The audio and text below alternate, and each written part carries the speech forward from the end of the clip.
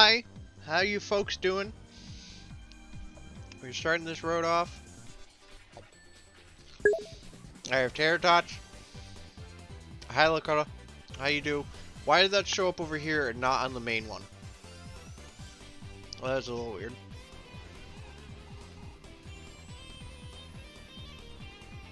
Whatever.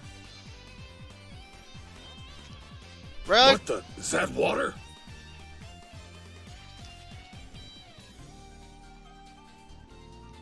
Can I not enjoy my tater tots? Not tater tots, my fucking corn dogs, mini corn dogs.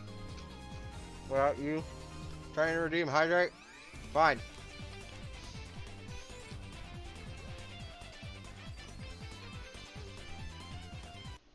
I'm gonna pause my music now. I'm gonna undeafen for Junkie. Lakota has already, within the first five minutes of my stream, redeemed hyd- not even five minutes. He's already redeemed hydrate. Damn you, Lakota. Ah, And now I need to pull up your live stream on my other monitor. yeah, because I uh, just started streaming. Yes. Which is why Junkie's with me, because Junkie is gonna be live streaming right beside me. Yeah, as I play uh, and fuck around with Blender. Yes. So they're doing Also, a blender. also George, if you could actually do me a favor. Hmm.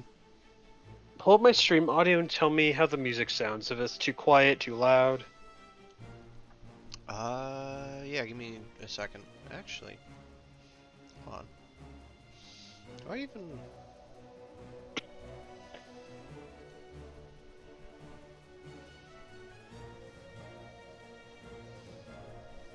Why did that open up over there? Why is this its own separate window? Well, fuck. Why did that open up? Hold on. Uh, Why is this da- its da- own da- da- separate da- da. window? So my volume's at 50% for your stream. Yeah. Hold on. Uh. Let me mute that. So my volume's at 50% for your stream. The fifty percent for the stream and what? The audio is pretty good, so you're fine. So it's at a good volume to where I, I can still be heard, you can still be heard, but so can it. How fat are you that you good, eaten so four fine. sandwiches? Look, man, I eat, and you already know. By the way, Junkie, Yeah. how fat are you that you eat Uh, four sandwiches? why Look, man, is- I eat, and you already know. By the way, Junkie. Yeah. Why is what? I gotta uh, do this because I don't know why it threw you over into a different. Who did it? Who did it? Who do, who done it thing? Well, Lakota did a thing. You gifted a sub to uh low poly. Interesting. Ah, what happened? Thought my body broke on me. Paste and go. There we go. Also, Junkie. Yeah. There you go. Yeah, your your audio on your stream's good. Okay. Also, do me another quick favor. Just say something in my chat, just so that I can make sure my chat's working. I'm gonna move this up so I can do that. Chat rules, don't be a dick. I love your chat rules.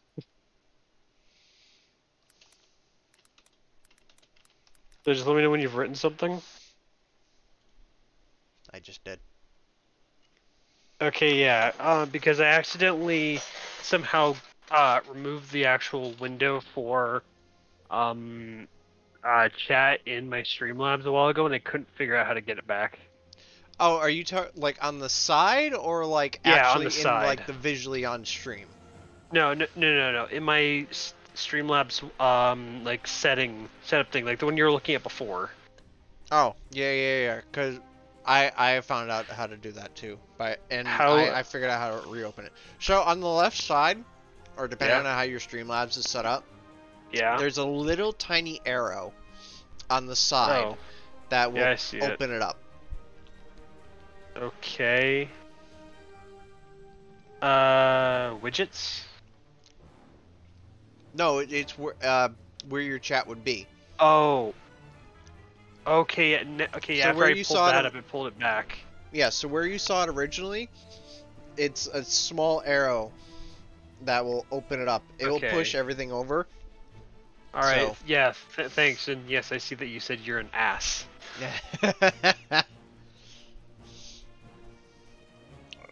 Let me Yeah. All right.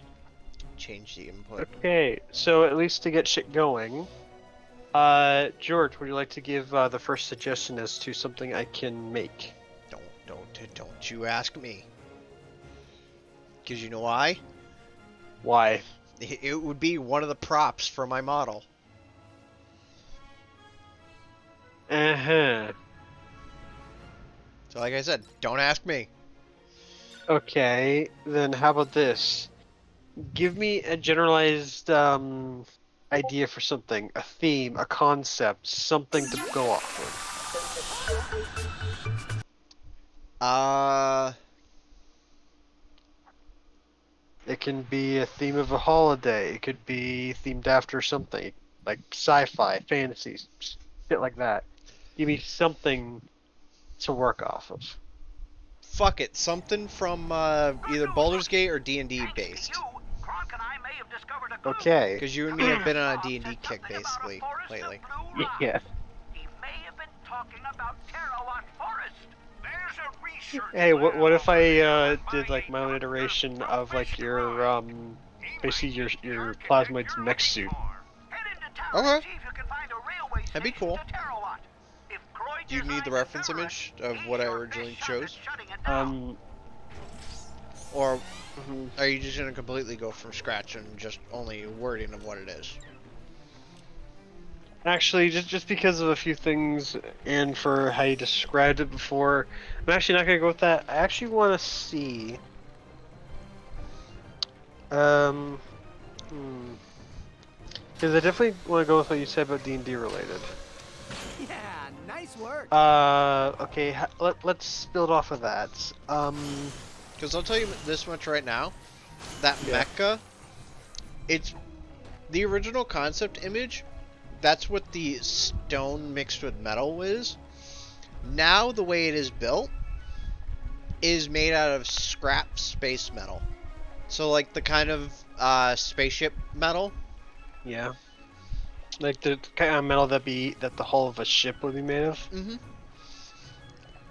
Because the way I originally thought it is that you and you and me spent that whole year Yeah. in like the building scrap yard, uh, grabbing whatever spaceship metal that was lying around from the destroyed ships or whatever, Okay. kinda are- melded it are- fixed it together to make the mecha. Okay, I also want to imagine there's other like electronic parts integrated to it as well. Yes. All right. Uh, remind me, does it have any onboard weapon systems? Uh, the only thing that is weapon related on it at all Yeah. uh, is the empty shoulder mount that's supposed to have a 40 millimeter cannon that we were supposed to build on it, but we never got to it. All right. because I was hoping to go over it with Ring and put something like that together. But if you create a concept of it, we can also swing it by Ring and be like, hey, so Okay. this was um, the thing. Yeah. So if you could actually, if you could send me that reference image again, just so I have an idea about how I'm gonna build this thing off of, because it's gonna have a scrap look to it. I'll tell you that right now. All right. Like essentially, as if we took metal and did our best to like form and shape it into the shell that we wanted. Let me see if I still have the images. I, as I'm scrolling, I just see the um, the breakfast um, of Angry Sky. Because while I was down there visiting her, she woke up very grumpy. And so while she was angrily eating her cereal, I took a photo of her. Just casually. Uh, that's too far. Uh,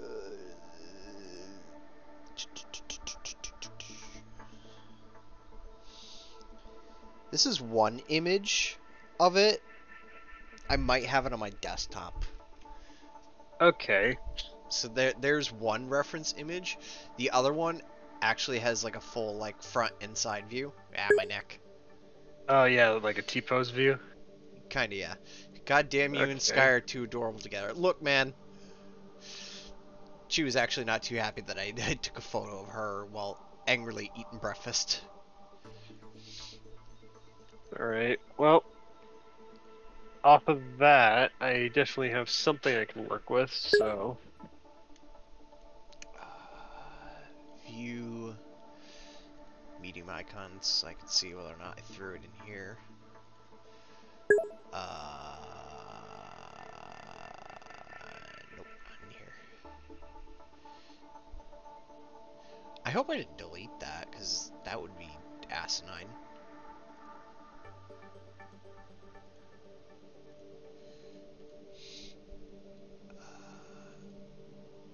Nope, not there.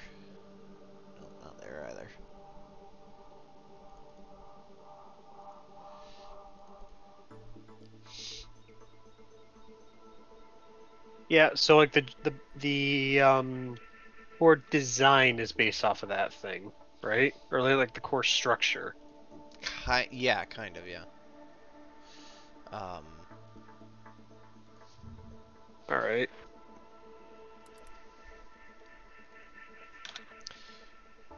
why does that image no longer exist on my PC? That annoys me more than anything.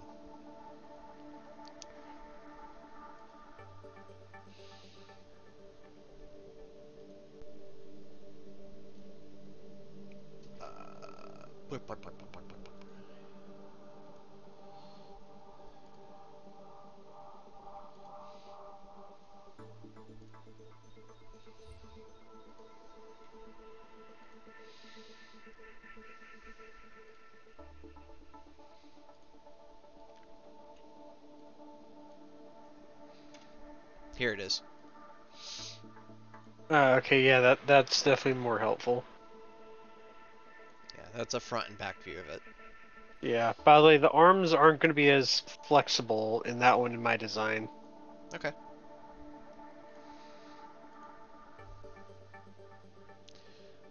Also, Blood is in your chat. Hello, Blood. Oh, are they no? Yep, Blood Angel. Hello, Junkie. How are you, buddy? Hey.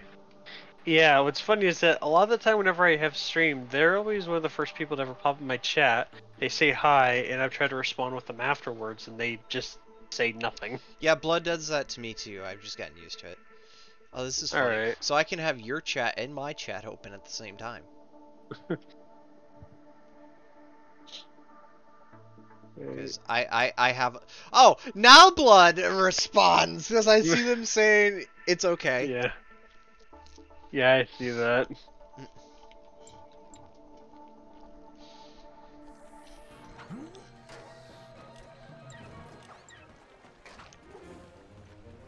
Yeah, nice to see you interacting more than just uh, hi and bye.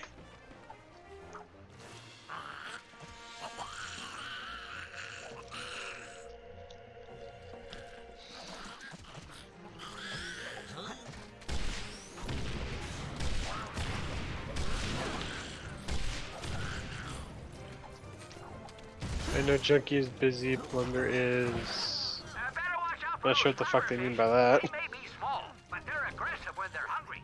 If they That was unpleasant. Okay, Very unpleasant.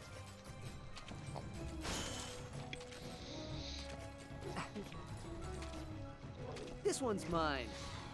Please. Ah, They're down. Everyone okay? I have your back, Ratchet. Hold up. I also demand this evidence. Doing good, pal. Hey, Bookman. Uh, you'd have to ask Skype for permission for it. It's one of those old sonic pylons. Oh, yeah. We used to go fishing with those darn things. Try giving it a whack. The sound should attract a tortomoth.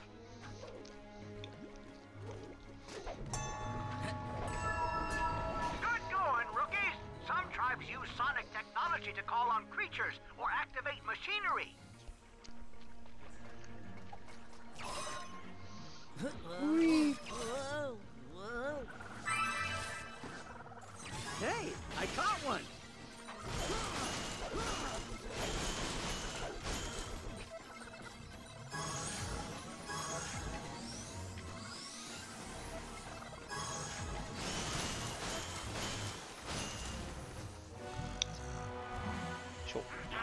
Junkie, Yeah.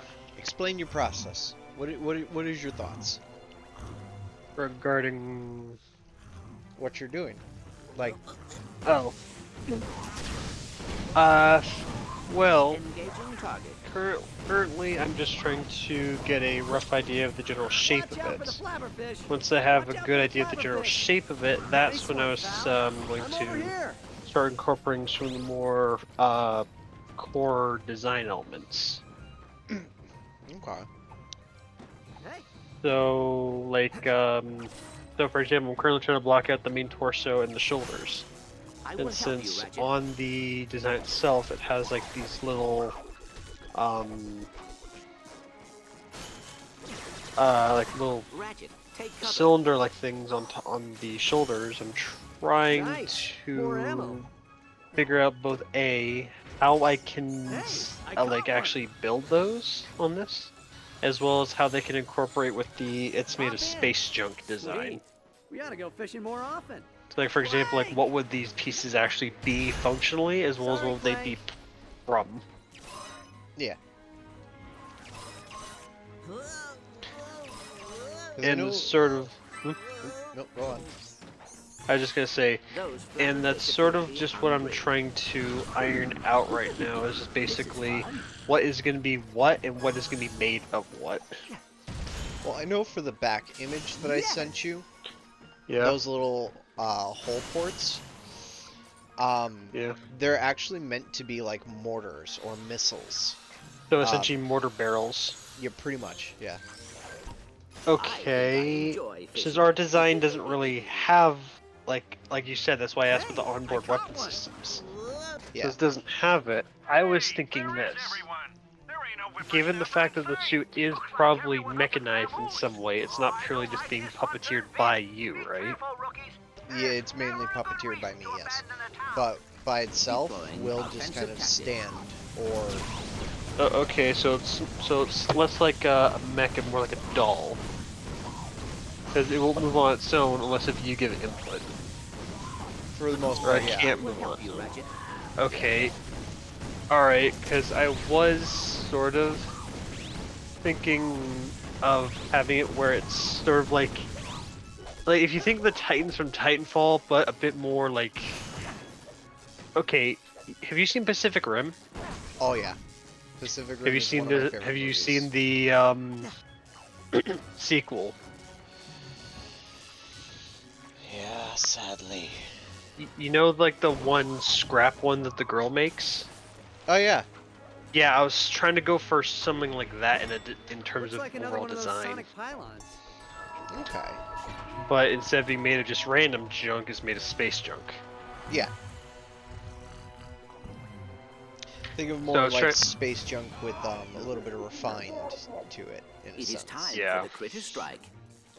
Yeah, so like for example, what I was thinking Where are all the fun is that maybe what it could be is the little bits on the back of it in what you showed me, where you said they're mortar shells Yeah. or mortar mortar barrels. I'm over here. is I was thinking I could have it where they're like nose pieces of rockets or they're like exhaust pipes or something. Yeah. That's why I said, that's why I asked if it was actually truly mechanical to some degree. Because if it was, then I could figure out, okay, how is it powered, and if so, how could ship get routed? Yeah. Um, Yes, Me- this goes into all of the design process of how I think of shit. I mean, I'll say this right now. Currently, the version that we have in our campaign Yeah. is not fully teched. Like, it's still like, It, it's more mechanical than electrical. yeah. I think version three Hop might be in. mechanical. Go ahead, Ratchet. I think I enjoy Alright. fishing. But currently, we're only on version two. I so found ammo. Okay. How how to make it like an nearby. automa uh automaton? No, uh, Automaton? yeah, that's it. That's the farm one. pod left after Um. I think to make it that way, I'm not entirely sure. I think the shell will still say the same for it. Just maybe instead of being rough, we would actually make it I a little bit more one. smoother. Oh, okay, so instead of looking like it was cobbled together, it would be a bit more refined. Yes. Okay. But that's for version three. back, Ratchet. Version two, which is what you're This currently one's going to mine. design for, Yeah. is um, however you make it. Yeah, actually, in that case, you know what I said before about making the arms um, not be able to bend? Yeah. Uh, I'm thinking I might actually rescind that uh, decision. Yes. Or, Just what the technician ordered. yeah, because I actually might have an idea of how I can do that. That would actually work pretty well. I think I enjoy fishing. Okay.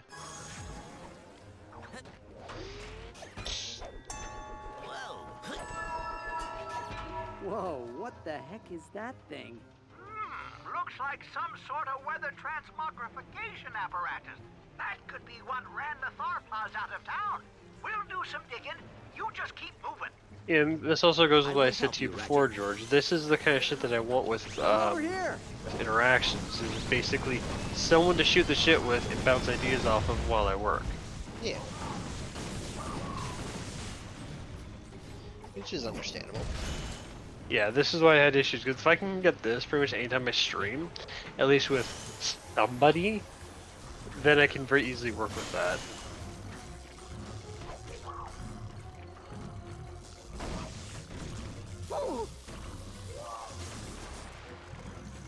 I have your back, Ratchet. Ratchet, take cover.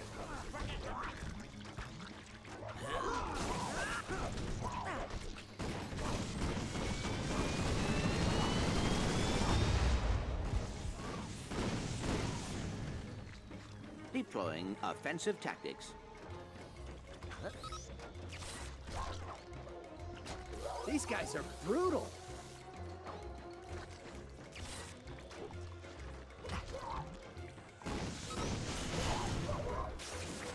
I do not believe that was a Tortomoth. I will help you, Ratchet. This one's mine.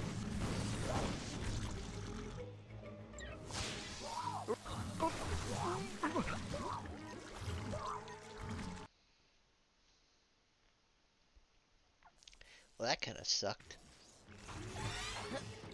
I, I I got killed, and Clank just went off the edge.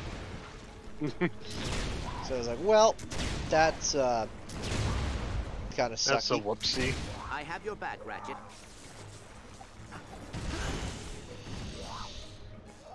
What if Pyroblast would be better at this? Oh my god, that fucking got shoot through here. him.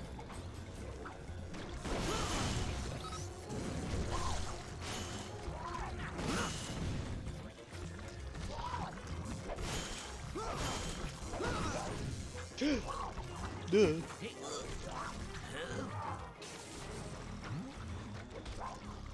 I will help you, Ratchet.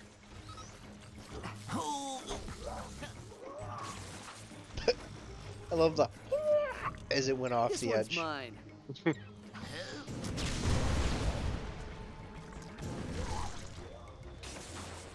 Whoa, what the heck was that? I don't know why, but I've been like thinking about jumping back into Cyberpunk lately. I don't know why. Engaging target. Honestly, I I love how ambitious that game was, and it just how have your back, badly it just lost because of development. I mean, yeah. I mean, the concept for it was really good. Yeah, the concept was strong, the approach was shit. Tortomoths are quite helpful. It, honestly, that sounds like a lot of games. It's like the the concept was amazing. The execution though was kind of poor. Yeah, especially because of how quickly it shoved out to the point where we're just basically trying to play the game caused it to glitch, bug out, and fuck up. People still play Ratchet and Clank games? Yeah. I mean, the Ratchet and Clank series is like my like childhood. This one though was kind of one that I kind of skipped out on. Nice. More ammo. Do you understand the series story at all together? Yeah. I Ratchet and Clank has been a lot part of my life for a while, so a lot of the story. There is one or a few things that like kind of are like, why is this part of the story? Played first three on PlayStation 2, then got lost. I mean, Deploying There was, like, a few things that happened that confused the fuck out of me and why they did it the way they did it. Like, I have your back, Ratchet. when you get to the PS3 era, Crack in Time, and Future Tools, um, they're kind of like, oh, uh, Ratchet's the last Lombax. But in the video game for Going Commando, there is This is not another. Lombax. Angela Cross. The part that's weird is like, why did they kind of like say, yeah, Angela Cross is like no longer and like part of the story, or she like no longer exists. It's like that doesn't make sense. Angela Cross is a Lombax. Why? Why did you get rid of her? So it just kind of help you, confuses the Ratchet. fuck out of me why they did that. You ready, pal? Thanks for the head pats, Blue Angel.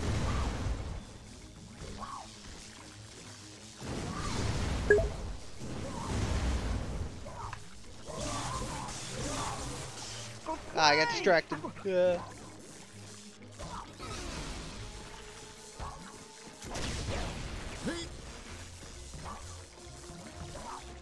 Engaging target.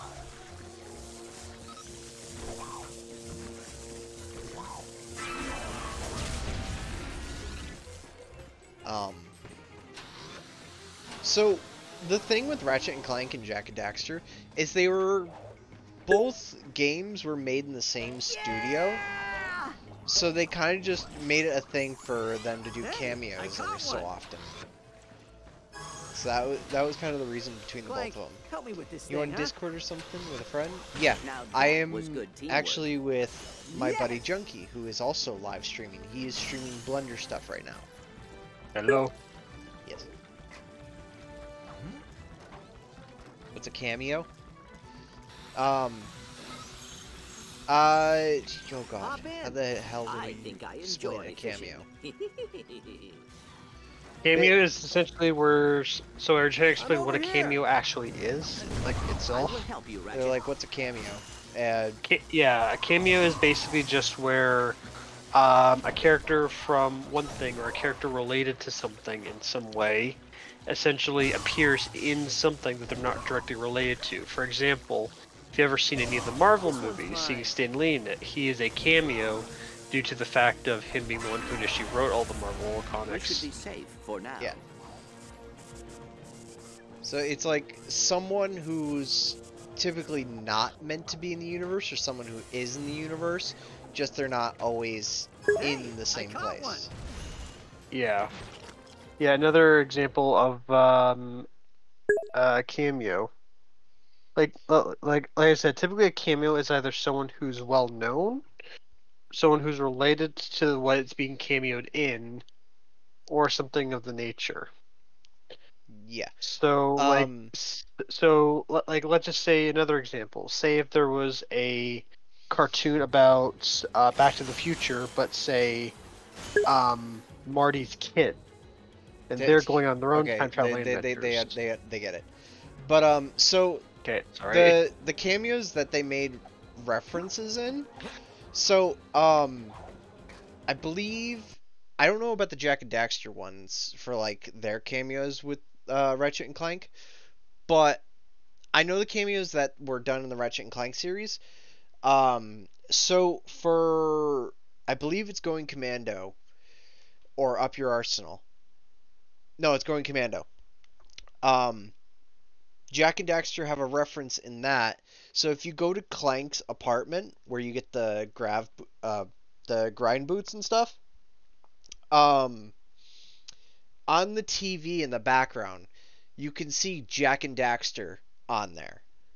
Um and then another reference to them and hell even the creator of you know the series and stuff like that makes cameos because in the um I wonder if this one has it.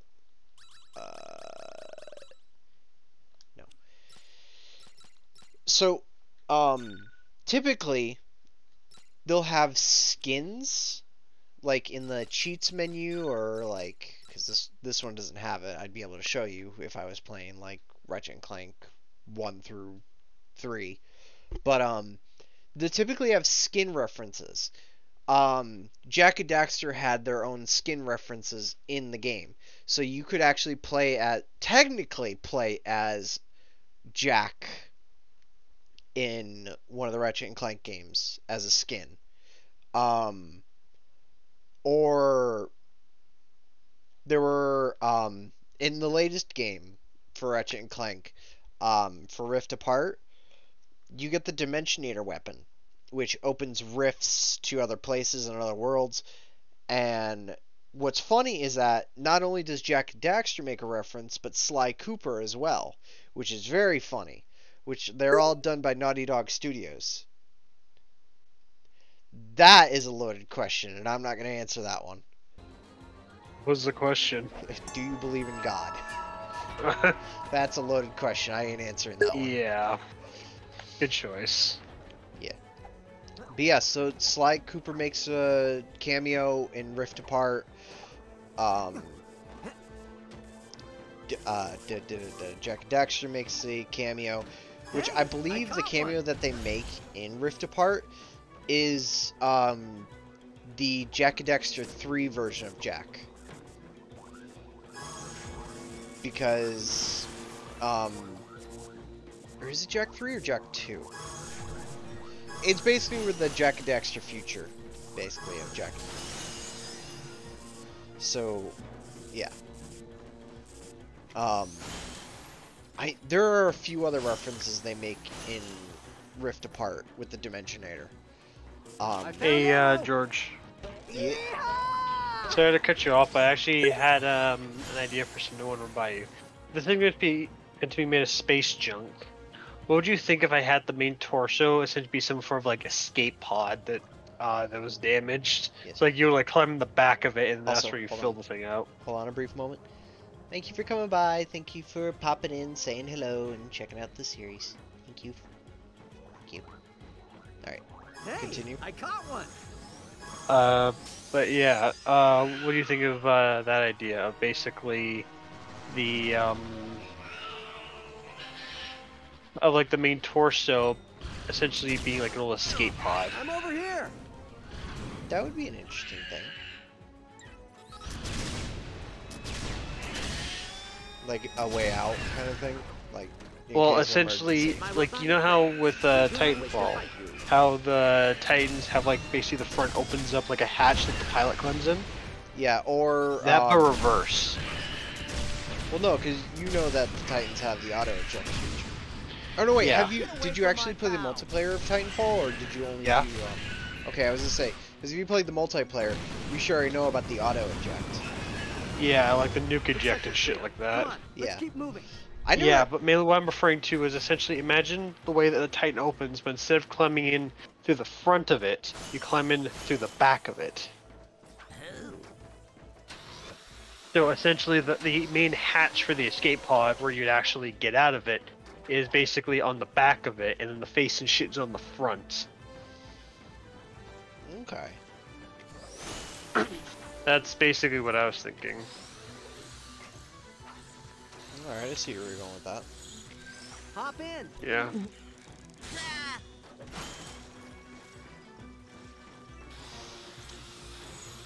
By the way, speaking of Titanfall, um, do you remember what Titan you used the most of? Oh, I sure shit do. Which which Titan did you use? I was a Scorch main. Uh, you were a Scorch main. You you were kind of the bane of my existence. Because the thing was, I was a tone. I was always um, I always mained a I have your tone. back, Ratchet. So yeah. like, oh yeah, that I'm actually aware of. yeah, because you guys I'm over here. fucking Hey. Yeah, I, I like I was also the type of Scorch player where if I had like my core ability and I um and like I could get close to somebody, I would I would throw anything and everything I could at them, and then while they're all flustered and distracted, then I would use the core on them.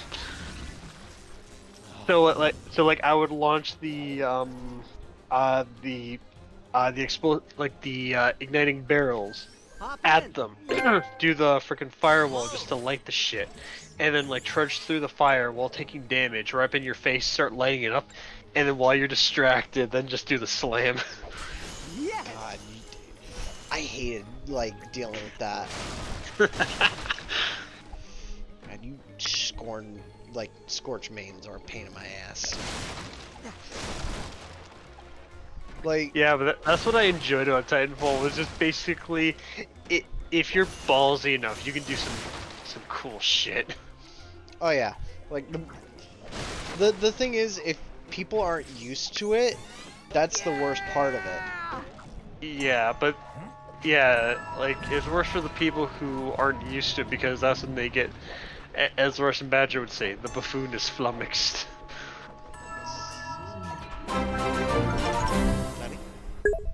I I hear a raid. Who who who has who has raided me? Tommy. Thank you for raiding me, man. How you doing? Thank you for the raid of five. Yeah, the raid of five. Thanks, man. How you doing? You big freaking food. This stream has been taken by the rats. No, the rats are welcome. welcome, rats. I like rats. Welcome. Crazy? That was crazy. I was crazy. I was crazy once. So hungry. Well, I mean, get food. I mean, you can you can you, you can have one of my corn dog bites if you want. Pretty good, actually. So But uh, yeah, like that's typically the kind of player I was. I did occasionally try other ones. Like the three I would primarily use was Scorch, uh, Ion, and I think Monarch.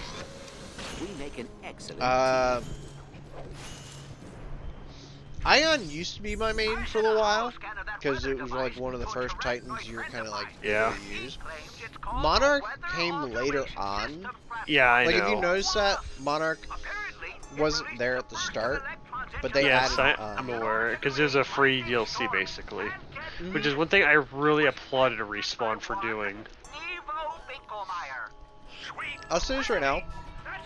I desperately wanted to get the Tone Prime skin. Like after I got used to using Tone, he was one of the skins that I wanted to get. Yeah, yeah. Something that I also still find just really uh, funny. Um. Uh, what's I gonna say? Hungry? I was hungry once. They fed me corn dog bites. Corn dog bites? They make me hungry. Hungry? I was hungry. Nice. Beautiful. I love that. No, actually, you wanna know what I would have said for that? If, if you like, um, uh, corn dog bites. I had corn dog bite- bites once. They weren't very, they weren't very uh, filling. So even after I ate them, I was still hungry. Hungry? I was, hungry. once. once. Yeah. Yeah. Yeah, basically like that.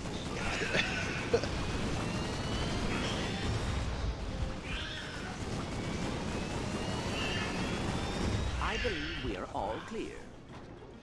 Are we all clear, Clank? Do we have the all clear? We have the all clear. Awesome.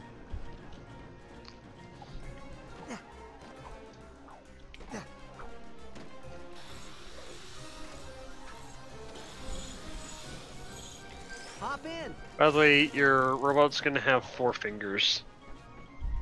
Four fingers? Yeah. So Alright. three and a thumb. Fair enough.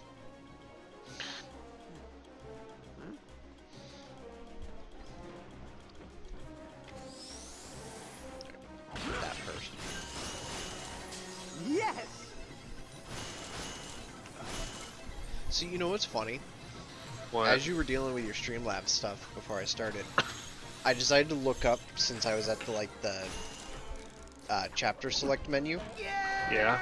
I'm currently on chapter five for this game. Ah. I have four chapters left, and then I'm done with this fucking. Like, I don't know why, but this game out of the series is kind of god fucking damn it.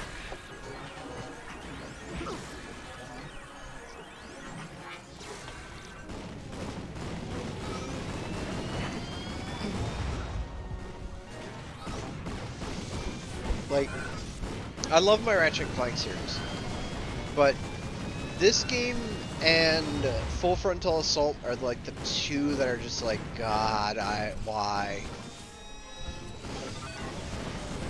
Yeah, so you're saying the series as a whole is good, but those are just the the The- black sheep. The, these two games, because they were purely meant to be multiplayer played. Yeah. Like they were meant for you to have like a group of friends to play with. But of course, um, The game wasn't popular enough for that. it's not that it wasn't popular enough. It's just I was not popular enough.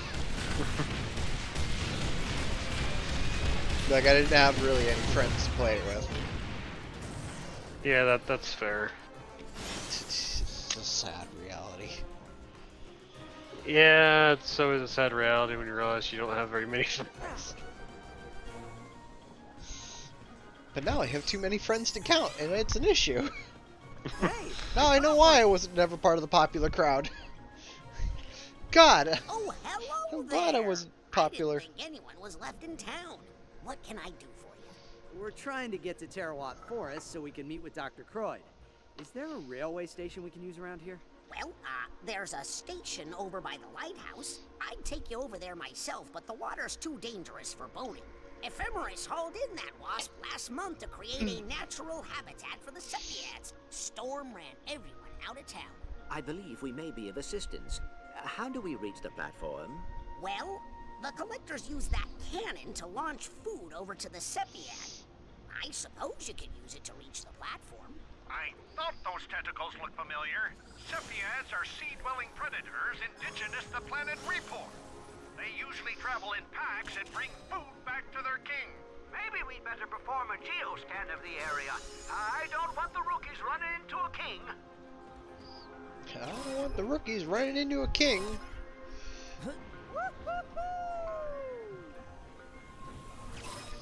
Uh, guys, I think that might be a king.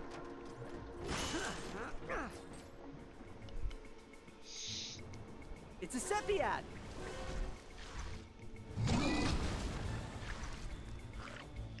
No, that's not a king. That, if that's not the king, what the fuck?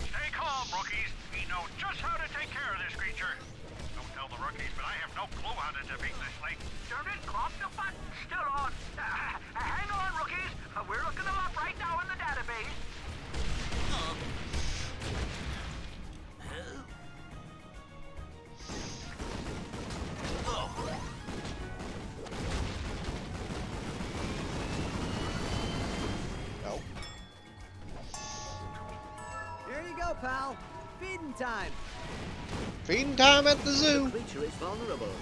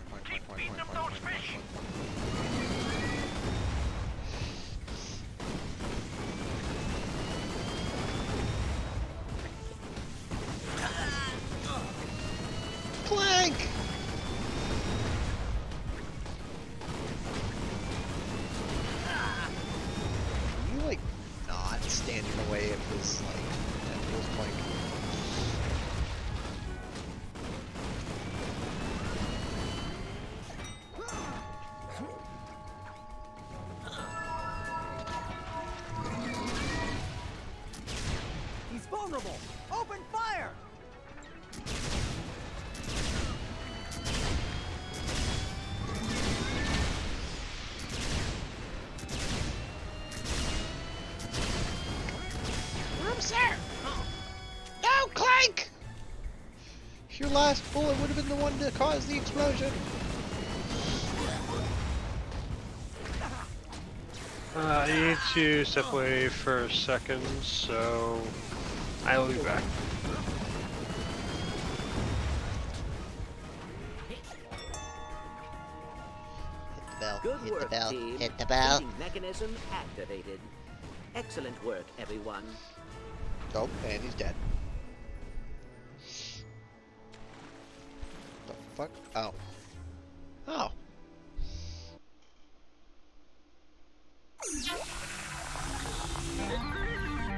Hollow Diary 002. A heinous crime has been committed. Fuck. This morning, I awoke to find my laboratory in shambles. The factomorphic tricilloscope was smashed. The crack-resistant flume canisters were cracked. And worst of all, an egregious theft had been committed. The plans for the protomorphic energy extractor, gone. All that was left behind was a recipe for drop-it stew. Mr. Dinkles, my friend, my muse. Someone had taken him, but it couldn't be. No. Nevo, what have you done? Your muse? The fuck? I think we may have our culprit. Listen to this. Dr. Nevo Binkelmeyer, expert in robotics, avionics, and quantum mechanics. Partner at the Frumpus Croyd Exploratorium of Scientific Wonderment. He and Croyd were lifelong friends. Looks like they didn't stay friends for long. According to an article in the Magnus Inquisitor, Dr. Croyd wanted the technology to remain with the Tharpods. But I see several patent applications here signed by Nevo. He wanted to sell the technology to Grummelnet. An expert in space travel, corporate espionage. I detect copious amounts of whippersnapperism. Tread carefully, rookies. This Tharpod's resume reads just like Tachyon's early years. Tachyon's early years? Oh, well, mm. Tachyon's early years. I'm thinking about that now. I'm just like, Tachyon was, um, There is nanotech over here. Hey, I caught one. Yes. remembering Tachyon's early years. Uh, Percival Tachyon. Am I done with this portion of the chapter? Please tell me I am. I hope I am. I really do.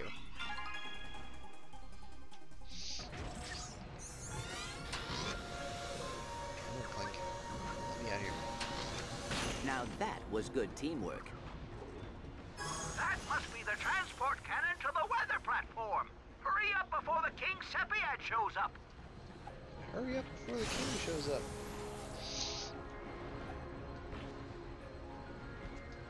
Oh, let me check out the weapon shop. The Thunder Thundersmack is one of my favorite weapons. It synthesizes traveling thunderstorms. You can also combine thunderstorms to unleash a massive tempest.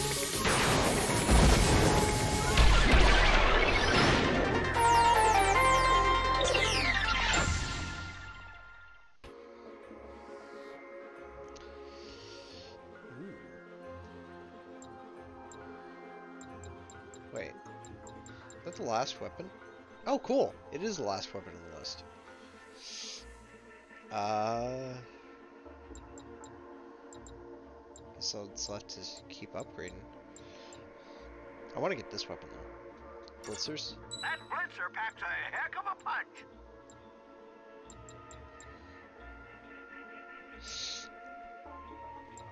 Mm.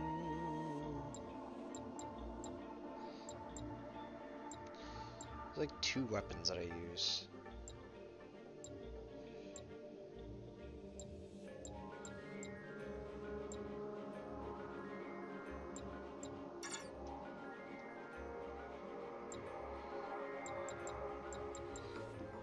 Twenty-five thousand. They're both twenty-five thousand. Uh,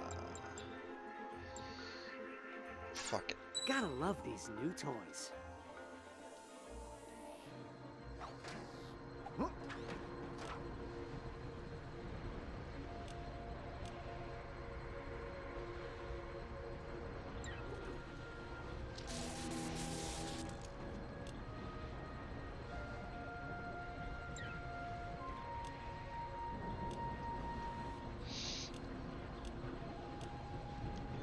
Where the fuck's the? There it is. Ready. I am ready. And I'm back. Welcome back.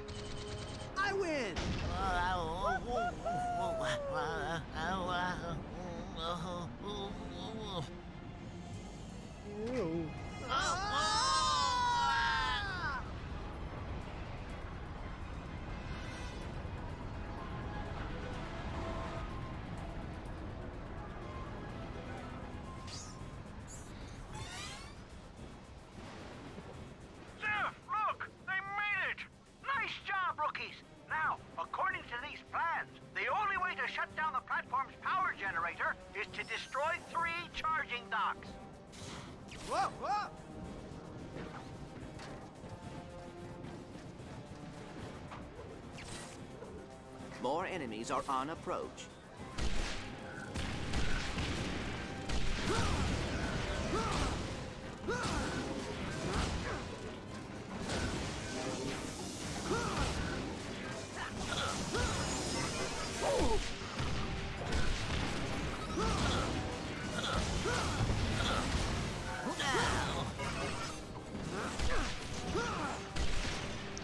You really blitz a flying target.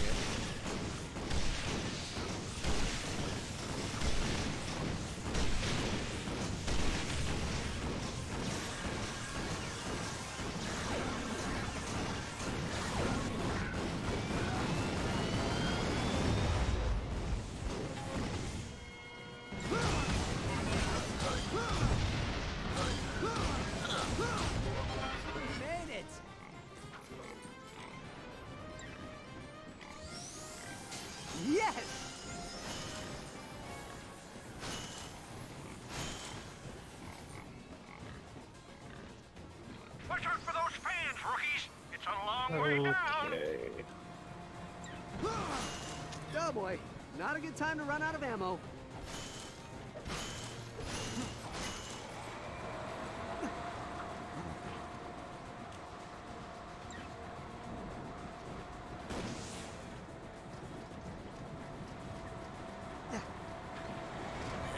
Actually, um, tell you what, think of something right now. Um, But So you know how we were talking about Cyberpunk earlier? yeah, Have you ever played it? Hey, I caught one! ever played it myself? Yes. No, I can't say I have. I, but I've seen m- more than my fair share of uh, memes and shit. All together um, now? uh, harping on it. Okay. So you, you you've seen the memes of it, but have you like seen like actual gameplay or like Yes, yes, I have. not me like shit? Yeah, I've seen genuine gameplay. Okay, cool. Why do you ask? No, because I was gonna ask you like you know, have you like um seen and wanted to make any of that stuff? Because I know you made a few props that are similar to Cyberpunk. So you're basically saying would I be interested in making anything that's in cyberpunk-ish style? Ish. Um, that's a little hard to say, just because the fact that like I I I like the technology aspect, but I I'm just not a fan of the cyberpunk style. What do you mean? Looks like you found Well, I understand that with the evolution of technology, shit gets a lot more simpler, sleeker, and everything else. The cybernetics. Well done, Yeah. Ratchet. I I very much understand that. The only issue I have with it is just the fact that it feels like most things that use it use it way too liberally. Explain that? What do you mean liberally? Okay. Have you ever seen like shows, movies where shows like, oh, uh, like like very advanced sci-fi type technology with robotics? Be a little bit more specific. Where- Okay. Like you talking like um uh Terminator kind of style or like Um, sort of. Almost like a Terminator in a cyber with cyberpunk like technology. so without being like the uh, T1000 or like the other stuff where it's Yeah. like it's the skeleton kind of based thing. Y- yes. Yeah, that basically what I was saying was that think of androids that are way too human looking.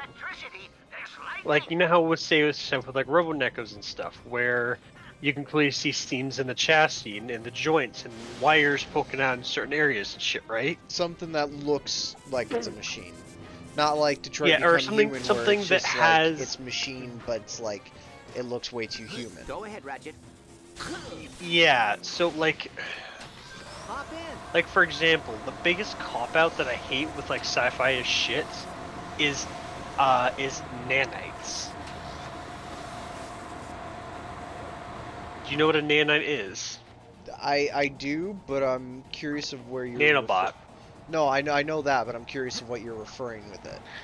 Basically to where it's like, oh, someone could look perfectly normal, like they have nothing on them, and then bam, uh, they have a fucking tank or something like that. Why? Oh, nanomachines. Like it feels lazy to me. Like there's so many ways they just basically use oh the technology is too advanced for us to understand yet. Shit is a crutch.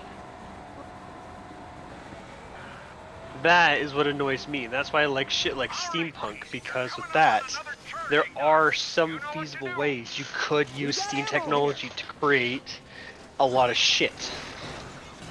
Like for example, uh, regarding steampunk, say if you have some like um, Death Star like laser, or like like basically like um, say you have like a, a tank or something like that, but it has a laser cannon instead of an actual munitions barrel. With steampunk, you can actually come up with something feasible to where that would work.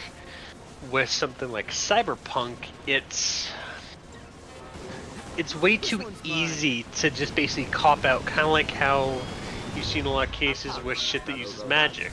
Like, oh, how could this person do this? How is this possible? How is this uh, able to be done?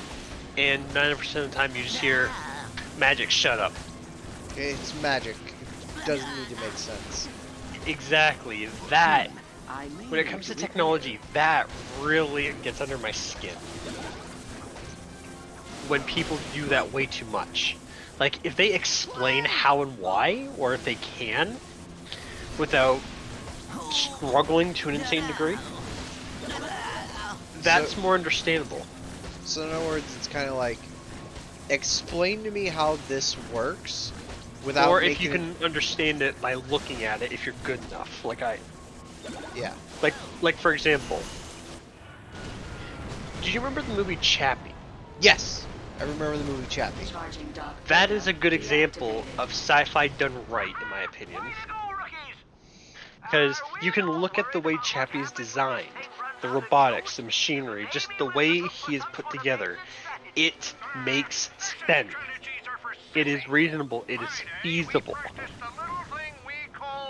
And then there's sci-fi, like I said, like um, freaking. Like the fact I'm having a hard time coming up with examples is a good show to show how many shit actually does it right. No Um, bites the dust. Um, like, okay, basically, another way of putting it is a lot of shit like like with. Cyberpunk is it sort of is, feels like to me it's trying to be like Tron, but in the real world, to where oh how's this possible? Uh, cause it is. Because it, it Like, cause, like 'cause with, yes. yeah, like with Tron, they could get away with shit flying. They could get away with um, vehicles that emit solid light, which can stop, which can stop someone dead or be physically impenetrable because it's virtual. Yeah, because it's it's a digital world, basically. Exactly.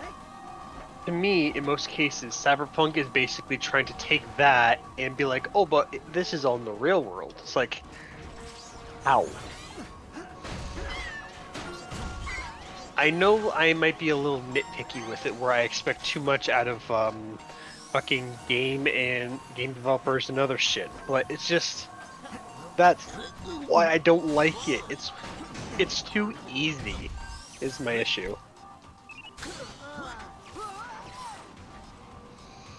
But I mean, conceptually wise, like thinking about it more or less. I mean, at some point in time, the technology will become advanced enough where it does do that. Yeah, but I'm just saying, yep, I'm not saying that the technology is impossible. I'm just saying, the way they're approaching it is basically them be like, oh yeah, it's here, but um, don't worry about why. Like, like another thing as well is like, say for example, like extremely advanced technology that we have no feasible way of doing it. A good way of doing that is aliens because they have come up with things we don't know about. They're more advanced than we are in certain ways. So they have concepts that are a bit. I can kind of be a bit more like, okay, it's alien. That's a bit more excusable. Whereas if it's human technology, where it feels alien to that degree, is where I have an issue. Forge ahead, rookies. We're with you in spirit. It's something very difficult to properly explain, unless if you understand shit the way I do. I mean, th- that's also fair, honestly.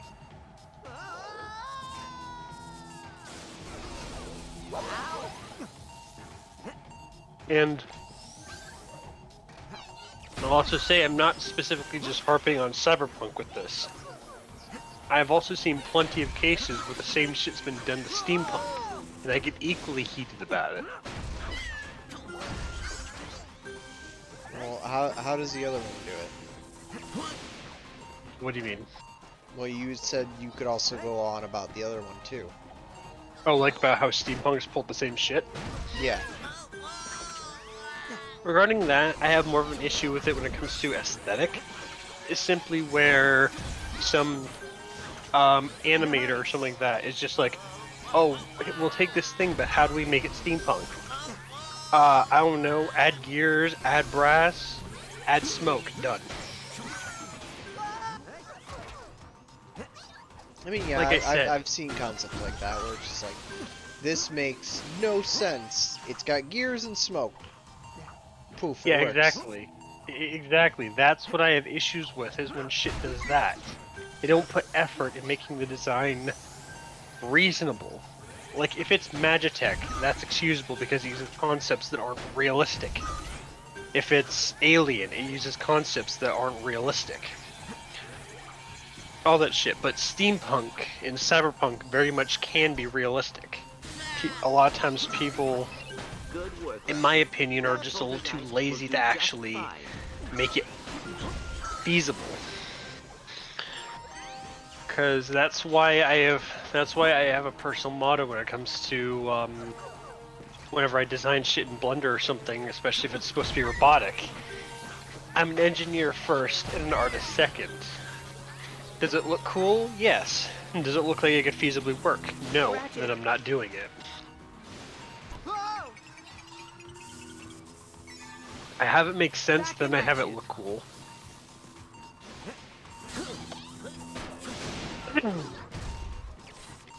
That's kind of what I'm trying to do here as well, because, for example, the way the fingers would work, without having to add an excessive amount of joints, this hand could function, because the fingers would curl up to grip it, and the thumbs on the side to be able to make a fist, as well as to be able to actually grip things. It just doesn't have a whole range of motion. Yeah. Nice. The More ammo. arms, you can see it looks like they're made of primarily cabling, right? Yeah, that w that's what allows it to be more flexible without adding a shit ton of joints. That's what I'm talking about. Putting at least that much thought into a design. Instead of just like, oh, does it look cool? Yeah, then I don't give a shit about anything else. It's like I don't give a shit about other functions. Yeah, and that is truly just what pisses me off with some designs people do. Like, if someone's new and they're still trying to figure something out, I'd give them slack because, yeah, they're still trying to learn things. But if it's, say, like, uh, someone like, uh, worked at fucking Blizzard doing shit like that, that's what gets me pissed off. I should acquire some nanotech. Because, like, you have the resources, you have the talent, you have the manpower to do it, but you don't. Charging dock gamma deactivated. That's also why, to a degree, I like a lot of the designs that Bungie has done for like Guns and Destiny. Is it makes sense in a lot of the cases, like a lot of the shit with Siva. Knowing the way Siva functions and how it is applied to things, that I like. The thing is, though, Siva's nanotech. Yeah. It's an But- AI nanotech and it went rogue, but like it's still Yeah, but like I said, Siva is nanotech done right in my opinion. Which, by the way, speaking of Siva, that um, I'm hoping you run into Siva again in one of the later. Given everything that I'm hearing, I doubt it. Which is still very upsetting. Yeah. Yeah. But but yeah, just to finish my thought with that is that that's basically just what I mean is that Siva's done right because it is down it fan is four. nanoparticulates in the air. They don't directly form solid matter just just because they can. They integrate with things, they reinforce things, they manipulate and basically reconfigure shit. Kind of, kind of like in Pacific Rim 2. This place is gonna It had, out of um, any second. If you remember towards the end of the movie, when uh, what's his name released The freaking the, core things. The Oh no, the, like the, the- silverfish the- looking things. Yeah, the horde of like silverfish looking kaiju's, and they tore apart the three kaiju's. Yeah, and just rebuilt them together. It's rebuilt basically a a really large one. Yeah, and basically added all the all like the positives from all the other kaiju's into the Yeah. one. Like including mass. yes, which if you remember, one of the kaiju's took kinetic force and turned it into energy and sent Yeah, it since back an absorbed and redirected it.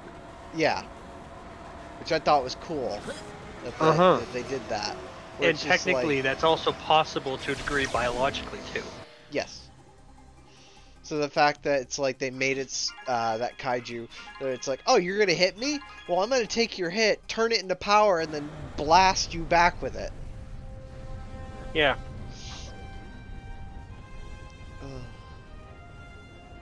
As I said, that's basically the kind of shit that I like. Where it makes sense where technology can manipulate other technology, not technology basically building itself into something that doesn't make sense. Well, technically, it's actually not even technology. It's literally uh, biogenics, biology. Are you referring to the Pacific Rim one? Yeah, because Well, yeah, yeah, yeah, in that the case, it- kaiju yeah. case, where it's just like it's Yeah. Yeah, using- that, that that's more biological, but it's still based on the same principle. Where, whereas then, say, going with Siva, Siva, as, I- as, as we've uh, as we talked about, basically it can integrate both with technological and organic material. Which, again, makes sense because the Siva itself would act as a bridge between the two since it can directly manipulate organic matter as well as modify and reconfigure technology on a molecular level. But going off of that topic as well, that also brings up another thing that I don't like about certain ways um, uh, nanites and shit are done. Okay. When basically they they essentially self-replicate using anything. Wait, go on. So uh, like like you've you've seen shit where it's like nanites or nanomachines or shit like that, where basically it feeds off of. It basically takes organic and inorganic matter and uses it to make more of itself.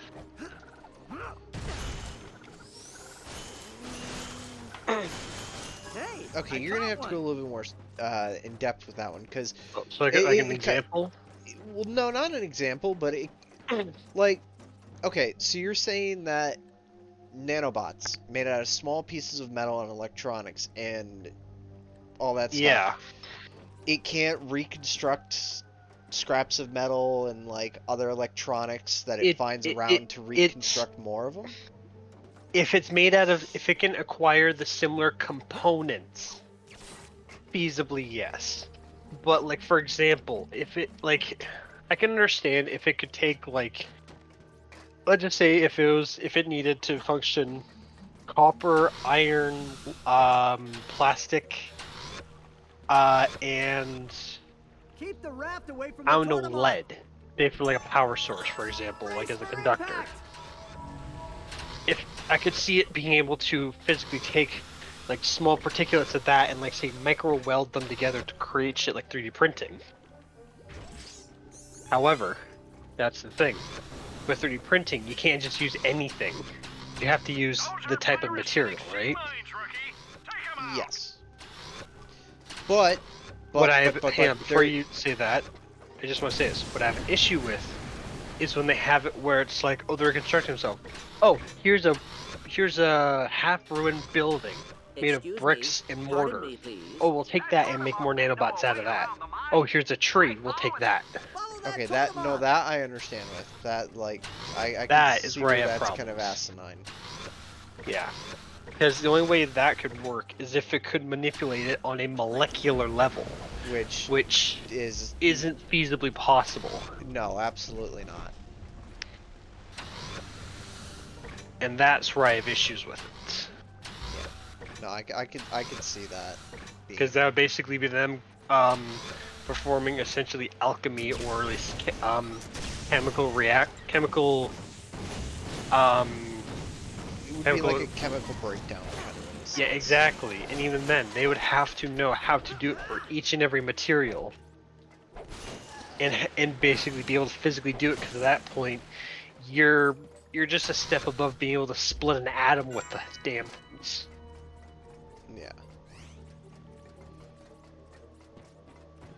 Which should not be feasibly possible to. yeah At, le- at least technology-wise, you should not be Well, yeah, that shouldn't be feasibly possible for them to do it by themselves. Having a dedicated machine designed to convert one matter into another, that's a little more feasible, but it wouldn't be that small and would be basically equipped into the nanites. Clank, are you good?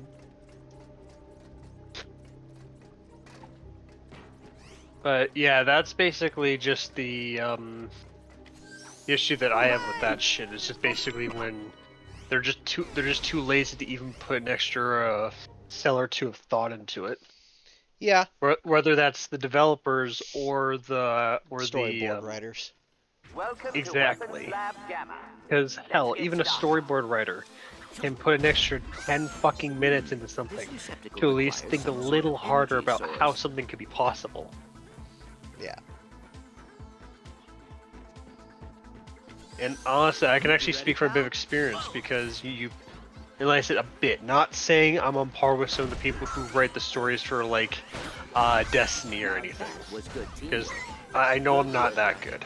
That poltergeist will do just fine. But I have gotten decent enough when it comes to story story designing myself, where where I can at least come up with designs like that where it makes sense if you look at it from a logical degree. would be so How I'm describing shit makes sense. Yeah. And it fits both narratively as well as um, logically.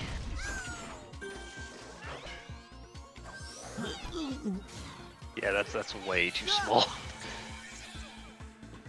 like, like again, here's another example too. Uh, if you look at my stream, what's wrong with this leg relative to the rest of it? Uh, the size. Exactly, that would not be able to physically support that weight. But from some developers, it could.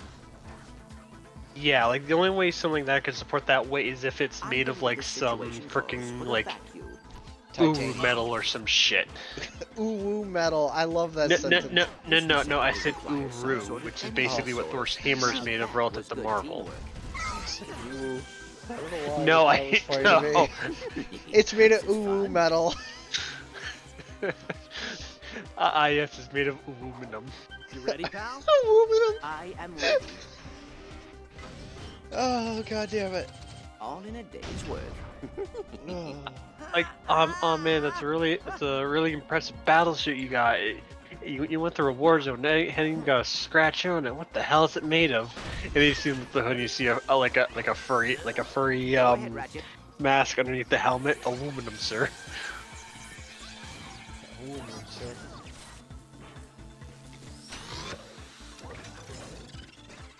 I have your back, Ratchet and also say as well, George, this is what I was talking about before about how being able to actually just have a conversation with someone while I work on shit. Yeah, got it. Just, just the fun little shindigs and conversations. It, it, exactly, because that's that kind of just keeps me mentally engaged enough to actually work on shit. I can't say much about it, other than it's guaranteed to rip Uh, you a new one. Right, so if I just take these.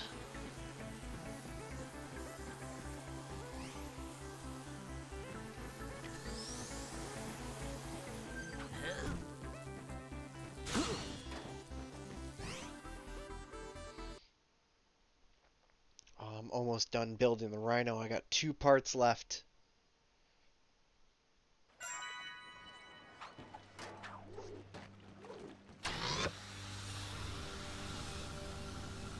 Also, I'm curious, has anyone in your chat said like commented on what I was saying? No, I fucking wish someone was.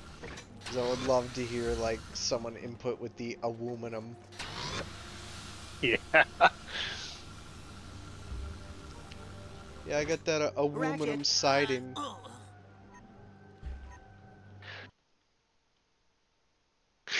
Oh god, you wanna know what that else just made me think of? Uh, Uh, like like it said on the news that, that some uh some like scientists made like a an extreme breakthrough creating extremely uh, durable material that's almost completely bulletproof, even as thin as a sheet of paper or something like that. yeah. It's just that strong, that durable, and it's light as and it's extremely light, basically titanium on steroids. Um. What's its name? Yeah, and no, no, no, no, no, no. I was like, what's its name? You see the scientist smile. They duck under a desk before putting on, before coming back up with a fur, with a, a furry head on, and then they just stare right at the camera. Called aluminum. I can hear Gamer and a lot of other people either being absolutely happy about it or angry as all high hell. And I can see Gamer being the angry as high hell. It's like, God fucking damn it. Why why are they allowing furries to build technology? Well, here's the thing. How the hell do you think they they uh, pay for their um, several thousand dollar fursuits? Exactly. Yeah, because a lot of them are either in tech industries or in the military. Military grade furry. Tactical furry. Actually, what- what's funny is that one of my friends is actually, um, like, like, like she's not in the military, but I do know, um, like, basically she's, um, she's a furry and she's essentially a Texan, given the way she acts. That. Ooh, kind of backtracking real quick. Um, right. To the your opinion on certain things. Um, say talking about the concepts of Fallout, Fallout 4 more specifically. Take cover. Yeah. Um, just for at least this part, and then the other part I'll talk more about the Lightning Brotherhood stuff. But Yeah. um, My robotic friend. the wish to fight you. synths. Oh yeah, from Fallout, from Fallout 4. Yes. What is your opinion on them? I will help you. Going into the like the technology conversation back. That that is a little more feasible because looking at the synths, regarding their their anatomy, that is still physically or is still feasible because we've come up with shit better than that even now. At least when it comes to like them functioning. The main thing that I would say that takes away from synth is their basically their programming. Hmm. This looks interesting. Because you know how in Fallout 4, uh, it's basically the synths close. are, uh, so- yeah, the synths essentially have their own form of AI, and the more advanced ones basically are intended to be swapped out with actual people. Yes. And when they can, they basically want to essentially escape and be able to live their own actual lives. Yes. Well, regarding that, that's where a lot of the more intricacies regarding them, in my opinion, come up because that's assuming it's an AI powerful enough to emulate human consciousness, which has been replicated in so many media forms over the years. It's stupid. We made it. Yeah. We made it. Now I can Not saying the concept's stupid, but, but basically just saying it's ridiculous. Um. Now, what I have regarding that, what I have to say is essentially just that the AI is still physically possible because we may not have yet. However, that does not mean that we will not be able to understand and it's and someday be able to actually essentially replicate a, a consciousness and at that point basically create one anew. You know what I mean? Yeah. And that's basically what synths are, except they just have underlying programming. Yeah. Which is basically like the recall code and shit. I found ammo. Now, what about the um the inner workings? Hey, I caught Because. I'll tell you this much right now. Um, the concepts for I believe it was version three synths being um Nick Valentine. You've seen him. He is a Yeah. series three. Um and you can see all the inner workings in the machinery, at least from what you can tell underneath What? Yeah, but keep in mind the design is also limited by the processing power of the game because they can't make it stupid detailed or else it's gonna lag like shit. No, but it's like the concept of his inside. This is what I'm referring to. Yeah. Like you could see how it's mechanical and how it would function. Now, Yeah. the synths 4 though, however, so when you go to the institute, you can see a synth being made. The Yeah. concept for that kind of baffles me and kind of seems asinine. I can't really recall that offhand, so I can't exactly give a good uh This the synths 4 are made using human remains, like skeletons. so essentially it, um essentially an endoskeleton graft onto the living skeleton. No, the the human skeleton, and it's they add like synthetic muscle and sy- synthetic skin in a bath, and then it forms into the synth four. At least visually that- wise, it looks like that. I don't know the actual physical lore of how I, I it's think supposed to function. I think it functions similar to that of like a Terminator, because you know how in a lot of cases in like the Terminator films, at least with like the T1000s, like uh, the one that Arnold is.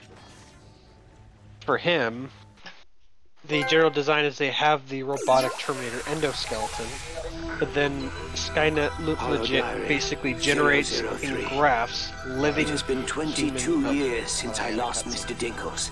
I checked the fjords of Rankaroo, the meadows of Tortumfi, and even the bluffs of Vendros. Nothing. Know he's out there. Poor, poor Mr. Dinkles. I shudder to think of the countless birthdays he spent as a slave to Nevo's machinations. What plans does that traitor have for these creatures? I must act before it's too late. I have repurposed an old servitor drone to scour the planet for his whereabouts. Using a sample of Mr. Dinkle's DNA, Ephemeris will run a comparative analysis of every life form it encounters until it finds a match. Without Mr. Dinkles, Nevo's plans will crumble and Magnus will be safe from his treachery.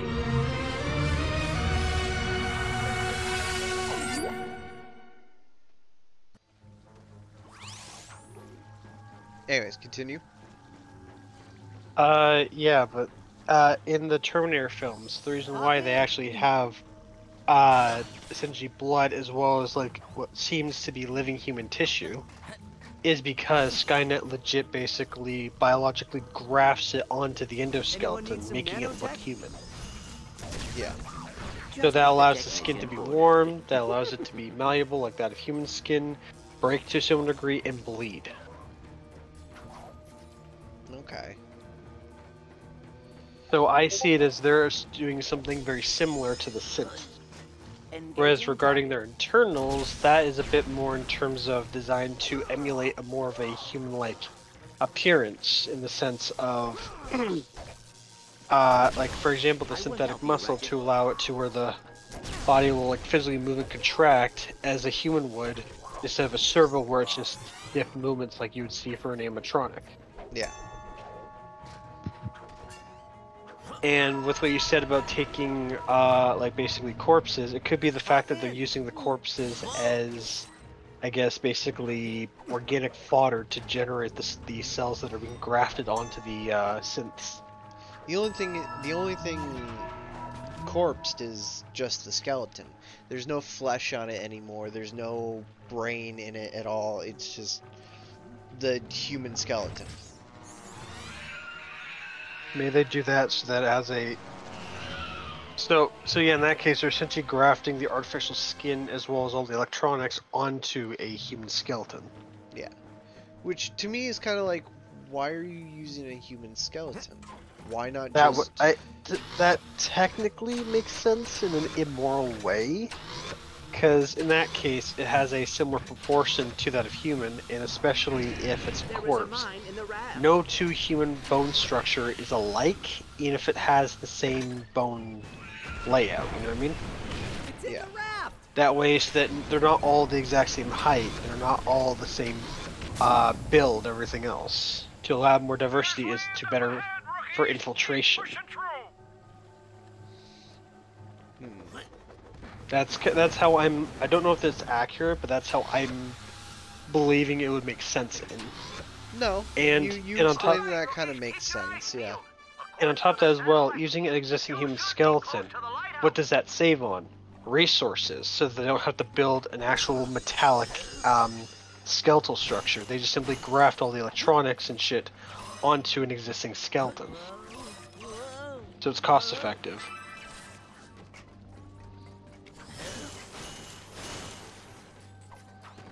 But like I said, it makes sense feasibly, even if it is a very amoral way of looking at it. Well, tec- technically, the there Come it's immoral anyways, because if you remember the story to Fallout, basically they kidnap here. your son Sean Y- and yeah. use his DNA to create synths. Great, since that part I didn't exactly uh, I have your hear, back, Ratchet. so I Basically, just knew that they kidnapped your kid. Every um, synth that's created is using your son's DNA. I guess because then it's uh, it's basically free of radiate mutation from exposure exposure to radiation. Yes, actually, It's funny enough, as you clean s- as you say that, that's exactly what they said. The reason that they used Sean was because he was radiation free. That's why they kidnapped Sean and they kidnapped or to to basically state if Sean died, you would have been the next person that they would have came to kidnap. Because if you Yeah, remember guess- Kellogg saying it's like at least we have a spare. Because when they killed your significant other, technically they were supposed to leave you, your significant other, and only take your son. Yeah, but being the mercenaries they are, they didn't give a shit. Pretty much. They they were only supposed to take Sean, but because your significant other fought them, they killed killed them basically. So Yeah, which left you and Sean Yeah. yeah. too viable. I am ready. yeah, and I think for that as well, what also makes sense is why they would prefer the kid over the Hmm. parents is because, uh, especially given how young he was, it's basically very young cells, so they're gonna be a lot stronger than that of an adult. Correct.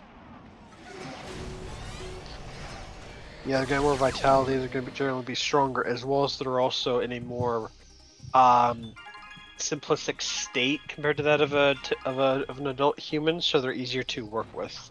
Yes. Hey, I caught one. So so there were basically multiple reasons why they chose Sean first over you. Yeah, and I'm guessing in that regards, um, you and your partner were the only ones who actually survived that long in the uh, in that vault. Yes, because if you remember when you leave the or when you go to leave the vault, everyone else is basically dead because they are all frostbitten. Yeah. But it's kind of weird how your pod is the only one that disengaged. Is everyone else who was in the vault also was in the same case as you? Well, what it could have been was that could have also been attributed to at least a few things as well. Because here's the thing, Vault-Tec was generally training the vaults to run certain psychological, biological, and neurological experiments, right? Yeah, every vault had it. There were, I believe, Yeah, th- those are basically control um, samples, the ones that basically weren't experiments. Control groups. All right. Yeah. On the other side of that lighthouse Yeah. is a hatch And regarding that, directly to the railway what it could have been was that maybe different uh, pods were set to different variables to test out different examples. Maybe another factor was genetic based on human, because some people can be more uh, physically resilient to shit than others. Hell, it could have just been something completely unrelated. Maybe some some electrical issue fucked up and kill and basically damaged every other pod but yours and his, or yours and theirs, I should say. Yeah. I say his because most often whenever I've seen people play it, they play as the theme, they play as the mother. So, There I was, about to leave for Tortum Phi when I said to myself, Self, you should help out those but uh, yeah, so it could very easily have been that too. Could have just been, oh, you just got lucky. Heck of a skiff, isn't she? Won it off a buddy in a poker game a few years back. Her gel receptors lock up every now and again, but she hauls when it counts. I think we may be in the clear. Hold on, I'll swing you back towards the lighthouse. Whoa, that was a close one. Alright, now I'm kind of drawing a blank of how I want to continue with this. The Sepiad is behind us. I'll steer you towards the shock tower. So, if you can have a look at it. To scare off the Sepiads. You might have to bear with me because I'm in the middle of Yeah, I, a... I, I can. I can. Is that a boat? Fucking just threw a boat at me. Whoops! Got a little problem with the intake manifold. Hold on. I'll give the old engine a kick. There we go. See? Sometimes you The just fuck is that? encouragement. You'll have to activate the tower manually. Uh, And I say the fuck is that meaning the giant fish looking thing that was chasing you. yeah, I don't. It, it's it's the king's serpent. I forget what the name of it is. Don't eat me like 5,000 decatones of electricity coursing through your body. Five thousand decatones. What Heads up, fuck? we got a tortomoth ahead. It's a tortomoth.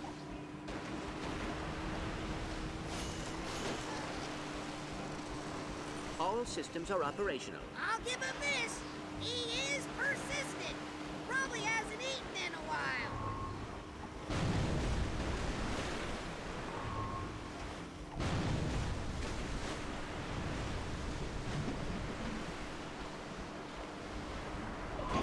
Ratchet, take cover. Sorry, that one was my fault. Forgot to change gears. All right, time to really get him angry. Ready to shock him again?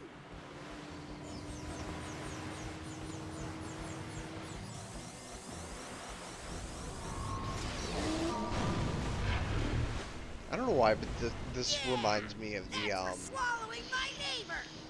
Uh, that's for swallowing my neighbor. The fuck you mean? Hey, what the fuck did you just? Oh, were you reacting to audio from the game? Yeah, the. Okay, yeah, I, I have your stream muted just so I don't have to hear you. So your shit doesn't come through my stream. So Yeah, I, I have yours uh, muted as well. Um, so you gonna throw another boat at me? Ow!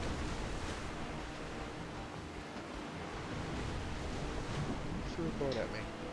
yeah, I saw that. Take cover. Found the problem.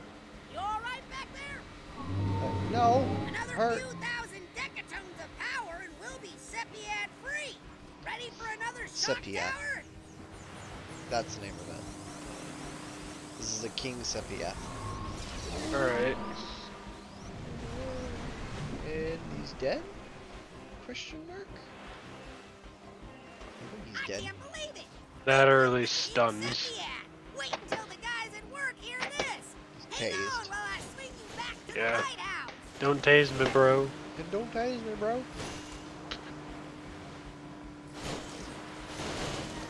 That broken dock ought to give you enough lift to reach the lighthouse.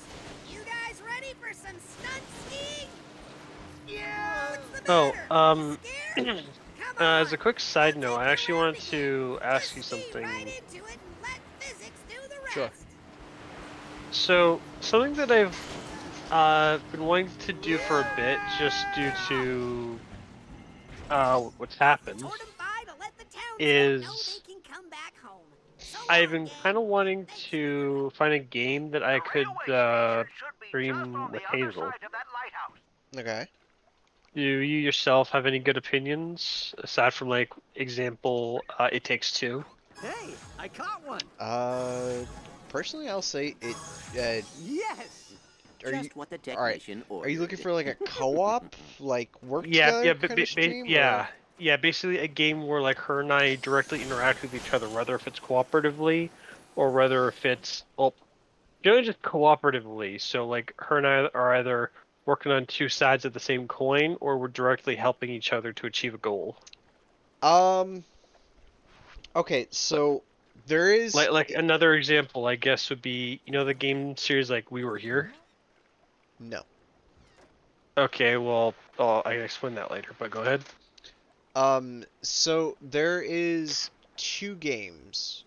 One, obviously, as you already mentioned, It Takes Two, which Yeah. is, I would say, in my personal opinion, probably the best one to do together. Because, Yeah, especially because it's built around the concept of basically as a couple. So not to mention, it's built around a couple with like couples issues. Like it's about a a mother Yeah. and father who's getting a divorce, and they're running through basically.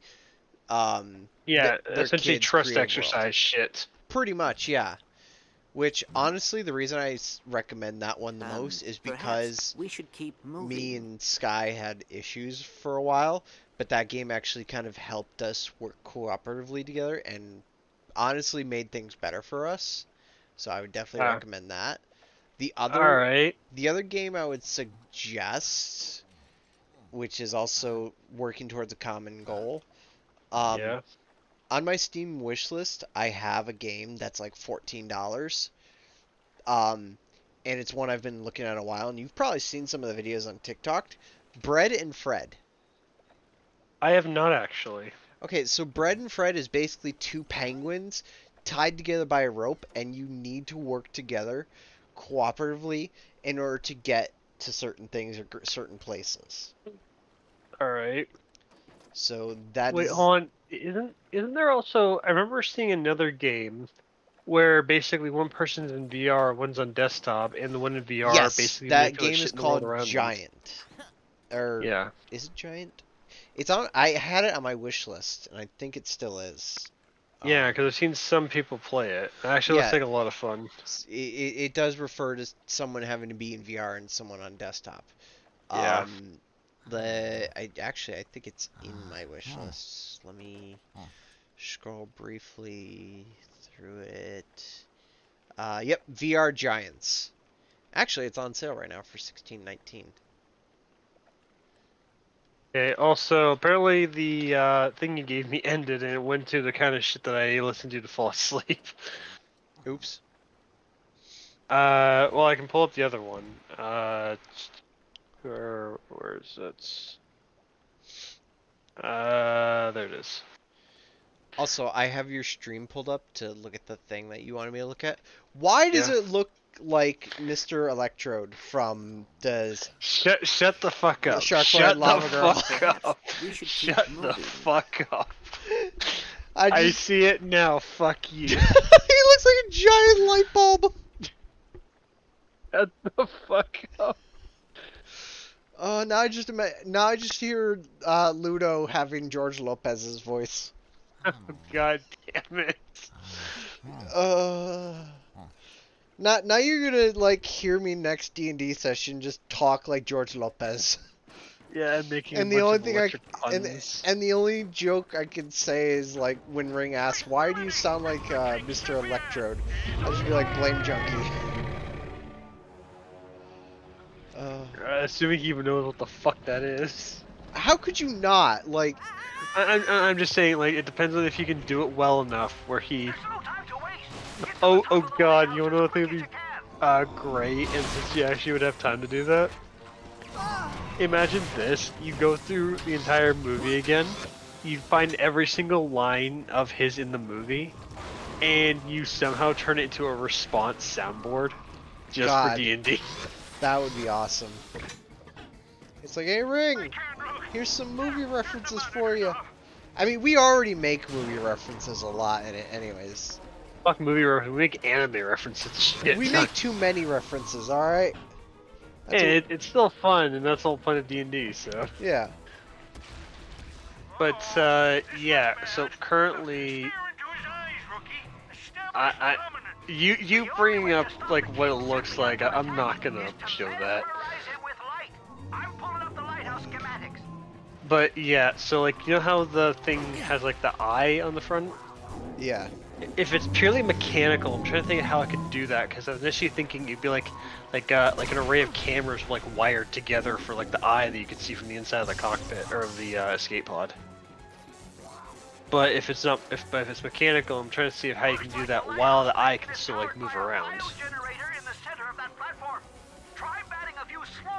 Well, I mean, I'd be the one controlling it, so technically the mechanical side of things, it just kind of be like, um, you know how like, uh, when people are making stuff on lathes and whatnot, uh, and they have Yeah. the water input thing, kind of like have it so it's like connected to the thing, and it just Oh, oh, oh, okay. I th- I think you know what you're saying. So, so like for example, I was thinking like the like these on the arms. Yeah. I was thinking what it'd be is like let's just say this is like the housing for like the muscles, and like you just like weave the slime into these to allow you to, to bend it. You know what I mean? Yeah. Yeah. So basically, almost like slime powered hydraulics. Yeah. Yeah, so you're basically seeing a similar thing for it, where there's just like a, like a centralized piece, and then like like like tubing that would feed into it, which you basically put enough slime Ooh, into to basically have an cause a stomach eye ache. orifice. So, right? Yeah. Essentially. Uh, okay, and are you okay with it just basically being fixed in one place, or would you want to actually be able to like move around? Um. Because what I was honestly thinking was that what you, what I could do is I could essentially, uh, like if I was to do it, say if I took like like these parts here, and then so like, let, let's just say that's like a track it can run on, and then say if you need to look more to the left, you'd slide to the left, be able to like. So essentially, it would be the case of you still have your full range, if you're actually looking out from it. Uh, let me see if I can give a bit of a visual aid here. So let- let's just say this is the actual eye, and like this is the visual range it would have. Basically, what I was thinking is that so say if it, it being centered wherever the eye is positioned, this is what you could see. Yeah. Yeah, like that's what you could see. However, if you say you need to see more to the right or to the left, the eye is physically slid over here. That way, your view is now that. See what I mean? So you still have this much range, but if you need to look in a specific direction, it would basically do that. Or say if you needed to look directly down at something, it would basically be like, let's just say there, and then your view would be like that. So kind of like runs on a like plus kind of. Of, yeah, kind of track. Yeah. Okay. Yeah, because that makes a bit of sense to me for again mechanical, but it would still be feasible because this would be your visual range. Yes, like like this would like like I said, this would basically be your visual range. However, uh, basically you like this is your direct sight and your peripheral. Whereas you can slide the thing to see more, more uh, to the right, to the left, up and down if you have to. So essentially, as if your eyes were fixed in one place and you couldn't turn your eyes around, and your only pivot point was your neck, you can only twist it left, twist it right, look up, and look down. Mm-hmm. Same idea. Okay. That's essentially what I was picturing with it. Because then basically anywhere like in between these would be covered by the peripheral. Mm-hmm. Terrible things. Now, so with that being said, does that mean the um, the track I run on um the whole centerpiece moves on its own thing, huh? individually? Yeah, kind of like nice if work. you were to Yeah. do like a like. Hey, I caught But one. then that also raises the question: Do I just flood the whole inside and like part of it I can flood my way out of to fit the arms and the legs? B- Basically, how I was Oh dear, fuck, that poor Tharpod. basically how I was just imagining it is that the is that the primary mass would be inside of the escape pod. So let so let's just use this for example. So like your primary mass would all be basically in here, right? Yeah. You would extend some out. You know, I'm actually Into starting to like this it to here. articulate the Sure, it's a dangerous planet riddled with murderous And I'm robots still and trying to exotic work out- predators, but hmm. take away all that. What do you have? Okay. A presidential retreat slash water park. Can I kill him now? No. I can make it look like an accident. How? Ratchet. All right, no. An accident. How? Ratchet. All right, fine. Yeah, so just let me know when you're good. Uh, I believe I am good now. Okay. Alright, but yeah, so if you see it, Yeah, I can see. so yeah, so like all like the blue lines are basically like where your slime could basically go out and kind of fill. okay. I'm still trying to work on the legs because I'm trying to figure out how that could work. Because I'm essentially thinking to a degree, your at least for like the limbs, your slime would basically act as hydraulic fluid. Yeah. But don't don't forget that um the concept for uh to tier two there is now regular assisted hydraulics to make it so Yeah, can- for that, there's a lot more I can do with it. Because for that, I could basically have like pneumatic pressure systems, say, in the ahead. arms, then have like up here essentially some kind of uh, like pneumatic driver that essentially would manipulate these to allow them to flex properly. yeah Yeah.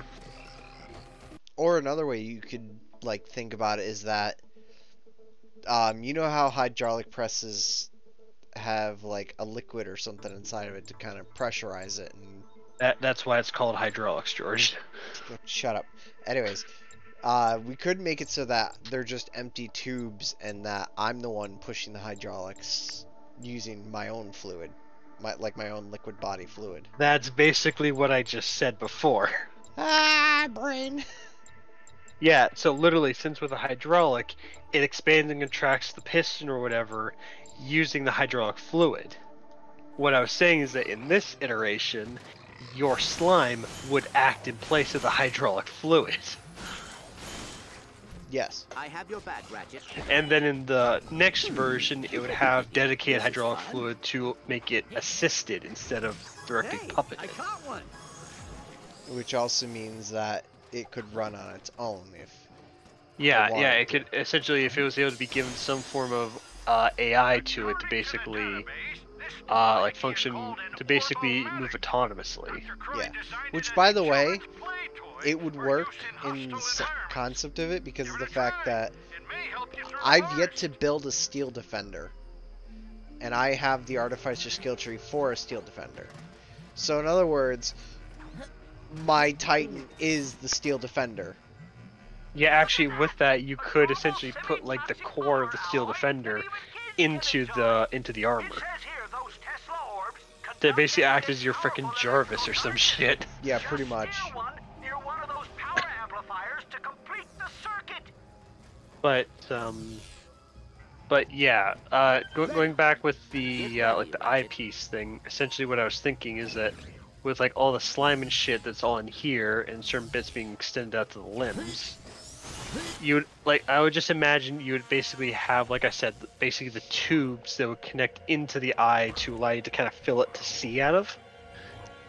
But then, say inside the pod, there'd be some kind of like like slider rod or something like that that you basically manipulate to slide up, down, left, and right. Yeah. That's just kind of how I pictured it.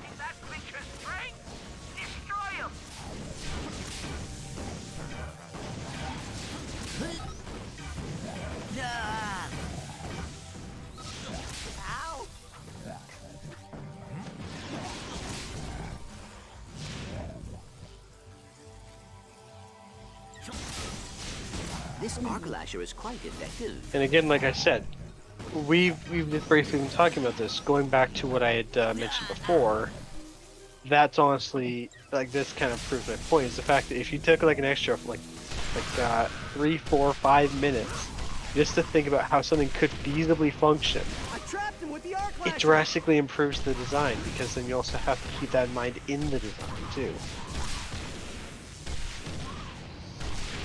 Yeah, Th- this is why Ludo is working with Vanessa. Yeah, exactly. Because it, it, like with that concept, I would have have her be smart enough to think about that too. Because obviously, it's still being puppeteered by a plasmoid, but it still needs to actually function instead of just basically building building him a uh, scrap metal puppet that he's just basically moving around. Yeah, because the original concept for it was that it was just a uh, giant stone puppet. Yeah. So, the, the the original concept has definitely changed. Yeah. Or at least it was evolved. Yes. Also, from what I just saw, did you turn that thing into a pig? Yes. Nice work. That that is Yes. a nifty little gadget called the um, Critter Strike, Okay. which basically uh, in previous Hey, games used to be called the Sheepinator, Okay. which turns enemies Nice. into sheep. ammo. sheep.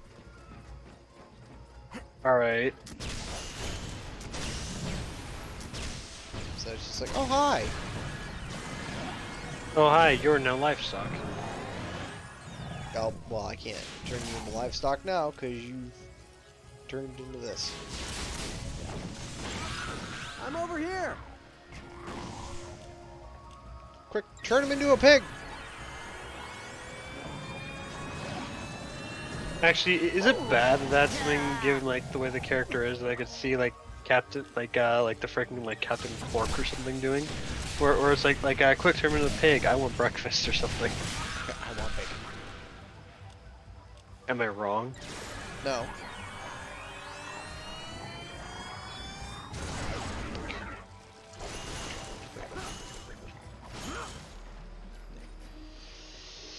Uh, oh hi. Hello, Mr. Porker. I found ammo.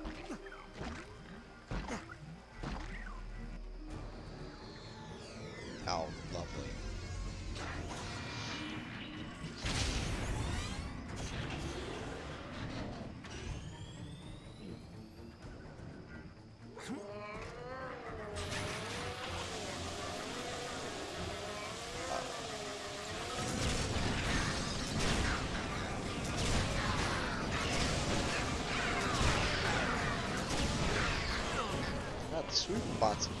Drastically.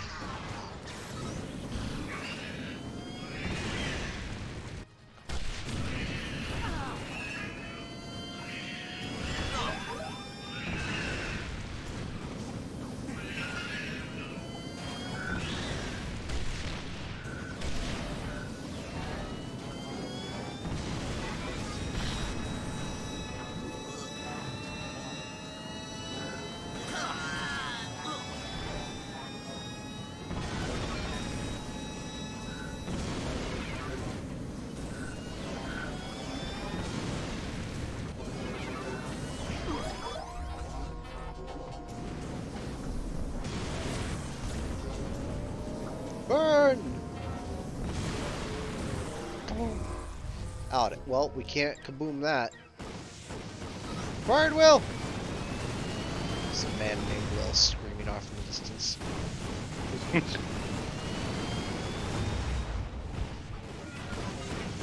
I thought that was funny because I had saw that uh, image at some point of it's like fire at Will. Man named Will in the distance screaming. No, no, no, no. I, I just imagine this. It, it's just, it, it's just like like a gen- like uh someone commanding, uh, fire at will in the distance. Um, you just hear someone yell, "Fuck you." Hey, I caught one. yeah, and, and then, um, actually no, no, no. I just have one even better.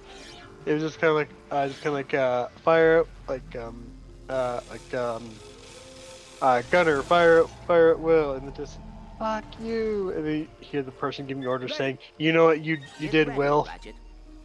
Uh, You know what you did, Will. You, uh, you knew this was coming. you, you knew it was coming. Just accept your fate.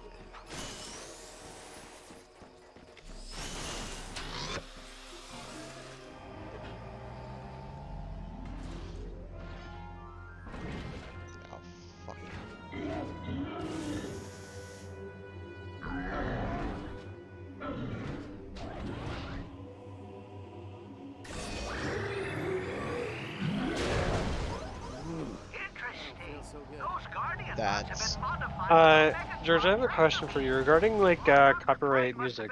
Would any kind of lo-fi thing be okay or no? uh, you have to find non-copywritten lo-fi. Okay.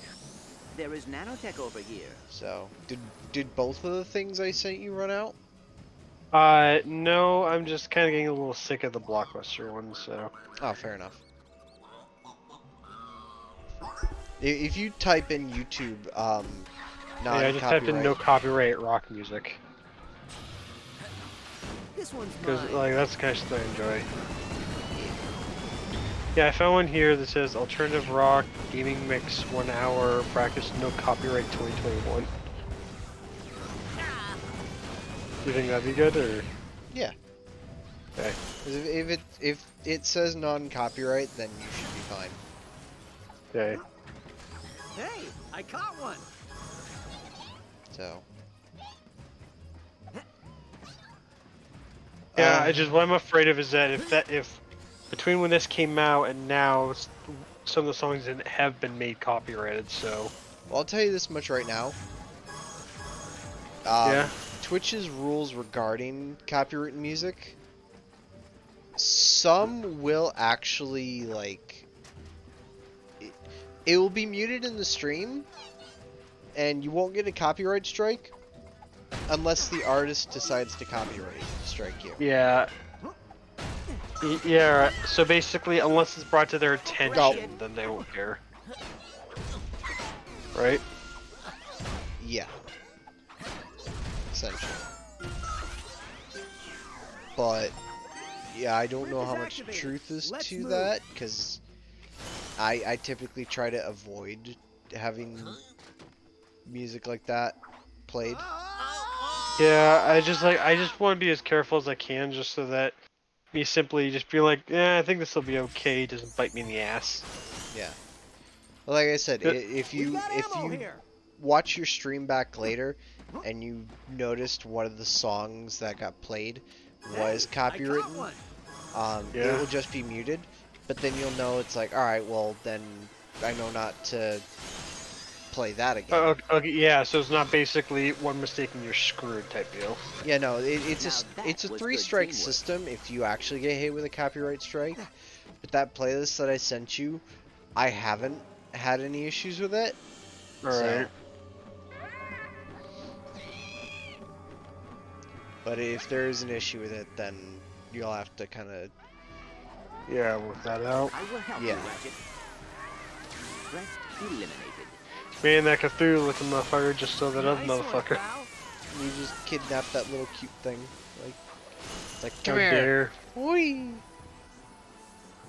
It's like, well, he's uh Hey, I caught one. no longer part of the land of the living.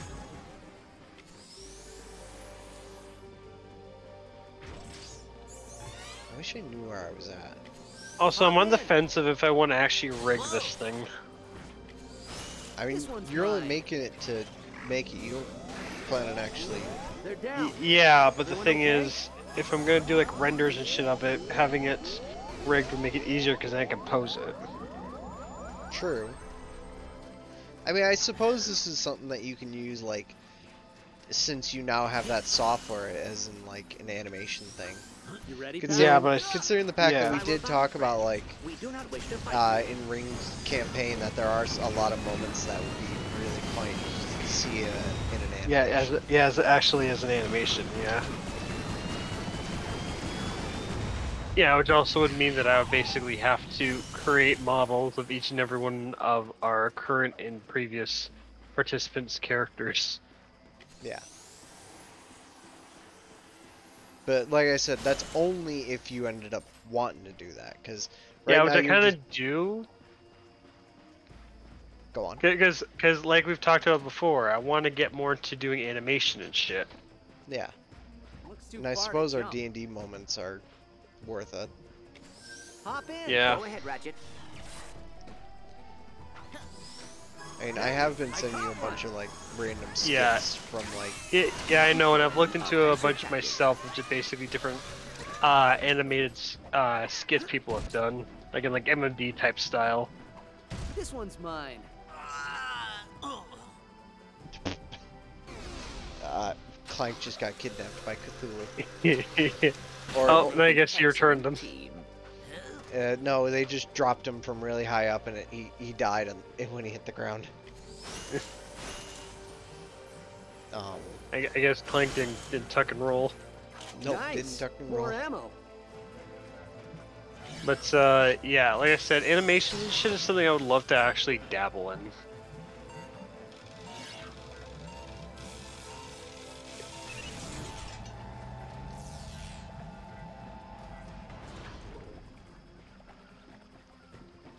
The way, Ready. you you had mentioned I that you do ready. have other models of like VRMs. What, yeah. What other VRM models do you have put together already? Uh, well, keep in mind, you remember how both my model that I showed you before with the robotic arm and a few others I I've done have been done using V-Ray bases, right? Yeah. That's basically what I mean, is that anytime I export something out of VRoid Studios, it exports as a VRM file.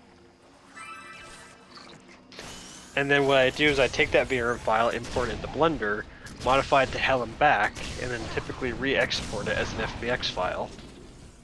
Hey, get away from my pal. And that's what I pull into Unity to basically fuck around with. Shoot it. Perhaps I should acquire some. So- nanotech. Ah. It is time for the So yeah, strike. like example, the uh, like, you know, like the robot maid avatar that I have in VR chat, right? Ratchet, Yeah. Yeah, that was done using a VRM base. These guys are not So I technically have her file. And anytime I've had to do other work for other people where I've had to make something more or less from scratch, or for personal projects, I've always ended up using VRoid to get a base for it. So I have I have a decent variety of them from those different projects. However, what I can also do is using the same medium, I can not only export existing models I'm working on as VRMs, but then I can also um, then I can also just generate new ones using VRoid Studios.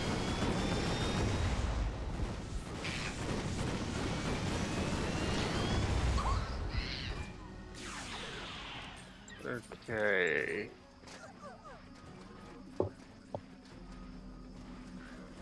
Does anyone require nanotech? So I forget, Ludo is the red slime, right? He is a red slime, yes.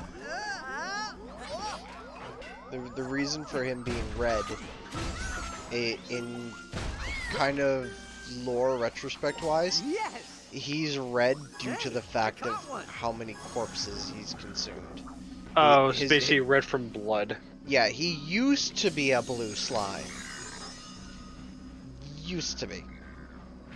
Alright. Because in that case, that also answers one design question for me. Hmm. What color's the eye gonna be? Well, it's not much to look at now, but years ago there You know what I was mean? wonderment Yeah. All up in this place. It was like, This what did I just now step now I can imagine Oh, is the like the red eye wonderment. No meme or like the We ultra got inst oh not the ultra Yeah. instinct. What the hell? Hi. What the hell's the name of that meme where it's like Dr. the whole like flashing red eye he thing where it's just like I mean, Oh, oh, uh, eyes glow real shit meme? himself in the hall Yeah. Paradoxology, and I haven't seen him since. It's like oh yeah you know I don't like this thing. What? probably start looking for Or it's like you're in trouble. Can you trouble. tell us how to access this Yeah. Facility? All you gotta do is take this tour card over to Rosa Fields, then cross Gorthon Crater to the main campus.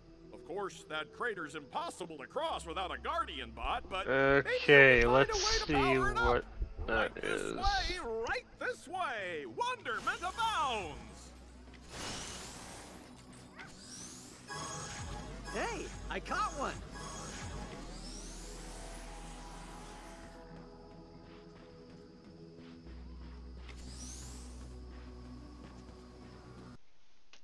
Don't know why, but for whatever reason, the quality of the game has just gone way the fuck down for whatever reason. Alright, what's going all the way, way the fuck down? I don't know if that's my eyes or the frame rate on the game has just kind of killed itself. Am I the only one who noticed that? Chat, who's alive? Who's alive in my chat? Can someone tell me I whether or found not it's my eyes or if it's actually the game? No, wait, what is it you're trying to verify? The frame If, rate. like, the stream's lagging? No, the frame rate in the game itself, because I'm looking at the stream and it kind of looks fine, but like, I don't know if it's the stream, my eyes. Oh, I'm currently watching your stream and it looks fine to me. God, my eyes then. I think it's me. Hmm. Uh, Right, I still have like this weapon to buy.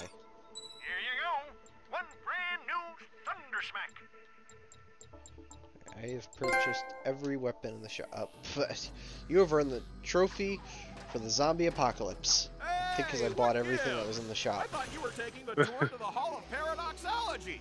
You got something against Wonder.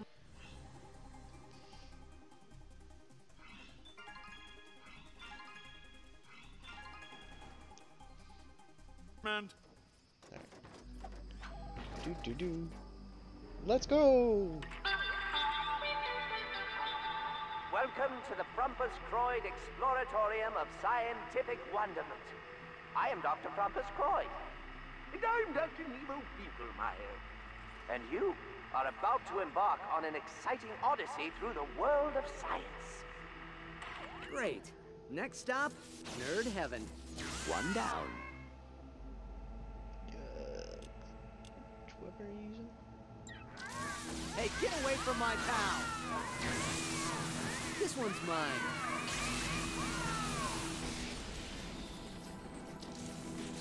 The first stop on our tour of discovery is the Rosa Fields Mining Outpost. Go ahead, Nemo. Read from the prompter. Uh, yes, you're right. Eons ago, a Class D comet struck our planet with incredible force. The resulting fragments wound up in this very location. Dr. Croyd and I immediately implemented numerous devices in order to collect and catalog these samples for science.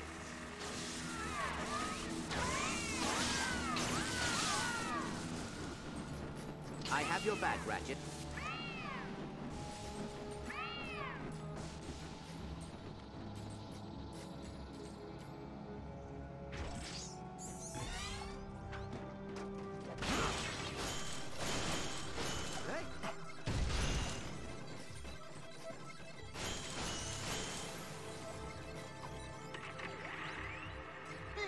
These energy repositories were designed to siphon and redistribute kinetic energy from the comet shards. However, the redistribution process is extremely unstable and should only be attempted by a licensed technician. Good thinking. Now try powering up that shard using the energy repository. Stand by for energy dispersal.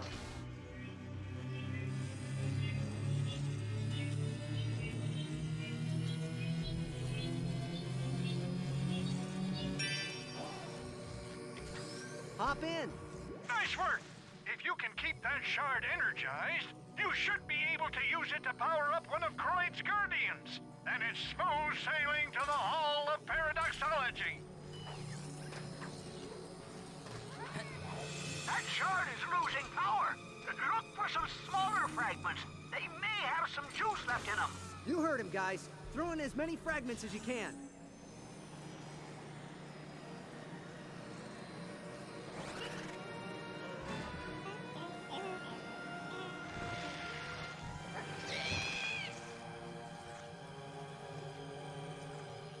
God, why do these seem like Ark style plants? Good work, guys. Get those fragments into the carrier. Like It's Ark working. Genesis Grab more. Genesis Part 2 kind of plants. I Excellent couldn't say. team. The shard is powering up.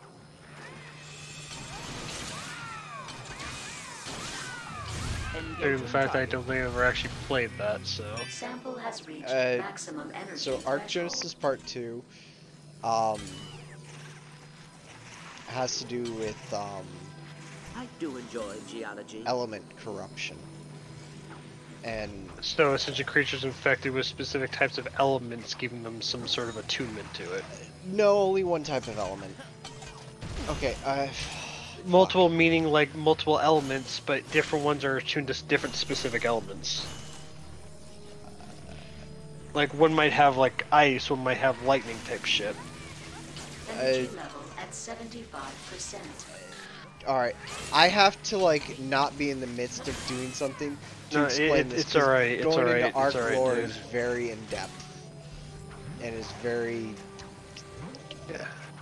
As I said, it's alright, dude. Take your time. I'm gonna be at the charge station here, so I can kind of explain a little bit. Um, Nice one, pal. so Deploying offensive element in Ark is basically space metal. It's a, in a liquid-based form. terminate the life force of the wrong It's robot. is a pliable and can be formed in many different shapes and ways. Um, Alright. So. Oh, fuck, goddamn it. I'm gonna pause because I actually want to explain this because I Ark is really interesting to me and I love it. So, Element is a space kind of material that fell to Earth and basically jump started the world into future technology cloning Okay. creations space technology um and at one point in time element was used as war technology Yeah, it was weaponized basically. a little surprised you still haven't beaten this. I am literally three chapters or two chapters away now from finishing this. But um so basically war broke out between continents. Basically nuclear warfare, except it's element. So the war broke out and because life on Earth was falling apart and Yeah. the planet was soon and slowly become uninhabitable um com- I believe a company one company in particular built the arcs and sent it up with a bunch of people and okay to be more specific with this there were two different um, companies. Now I think about it, there were two different companies that Alright, so, released oh, two okay, just clarify as well. When you say companies, are you referring to like, uh, like uh, business companies or like military companies? Both, kind of in a sense. So Okay. one company built arcs, kind of like sphere domes, like oh god, what are they called? Um, they're domes. They have uh life inside, uh trees, things. The the fuck Biospheres or biodomes? bio bio mm, terrariums. Okay, yeah, true. They they basically built giant terrariums. Um, one being the island, the other one being uh, scorched earth, which is a desert. Um, uh,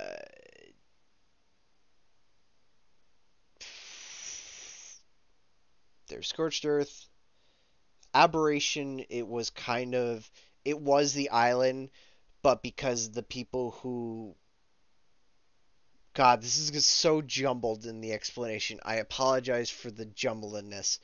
Mm. Because my brain is just like, there's this, there's that, there's this, this, and that. This yeah, yeah. Basically, you're trying to sift through information without constantly backtracking. Yes. So, the company that built the terrarium domes made the island, scorched earth, and one other, but it was because of the war that broke out. So these domes um have overseers which Yeah. watch over these clones of people from history, from time. Um, there was a few people in particular. Two people can only come into mind right now. There were others, like tribe wise. There's the two main people that are part of the story Helena, who is a researcher and explorer, and she's very much nature driven. There's Rockwell, Edward Rockwell, who is more into technology and development. He was Yeah. kind of like Da Vinci, I would say. Hey. If anything, he's probably a scientific recreation of Da Vinci. Where when they went up into these arcs, they recreated human life because when the arcs were leaving the Earth, so I'm only going to talk about the Terraria Dome arcs right now, and then I'll speak Alright. about the colony ship that um, became from it. So the terrariums left Earth, and when they left, the final, as I would call it, the Big Bang of the Element War wiped out all life on the planet. Yeah. Any any life that didn't leave on the colony ship, which again I'll say I'll get back to that after that. So the people that were in the Ark are known as Homo Deus 2. Humans 2 basically. Yeah. And the overseer um, monitors them. So they're recreated clones that are on the arcs that have to evolve and adapt to the arcs. Now, those who ascend or beat the trials, as as it were. Yeah. So beating like the brood mother, the dragon, um, the Megapithecus, which is a giant monkey, basically. Uh, Yeah. Think of Godzilla, not Godzilla. Um, King Kong. Yeah. Um, once you beat all three bosses and go to the Ascension Cave, you battle your way through to get to the Overseer. The Overseer will, which is made out of element. All these arcs have been made using the element. So the Overseer is made out of pure, solid, and liquefied element Yeah. and it will shapeshift um, as, as the fight progresses into basically the three bosses you first. So yeah. So dragon- it's essentially uh, a boss uh, rush. it's basically the final trial. Um, when you beat the overseer, you ascend and become like either gamma, beta, alpha. Um, so I've gotten completely sidetracked. Um, but anyways, so Helena and Rockwell did these trials. They conquered um the uh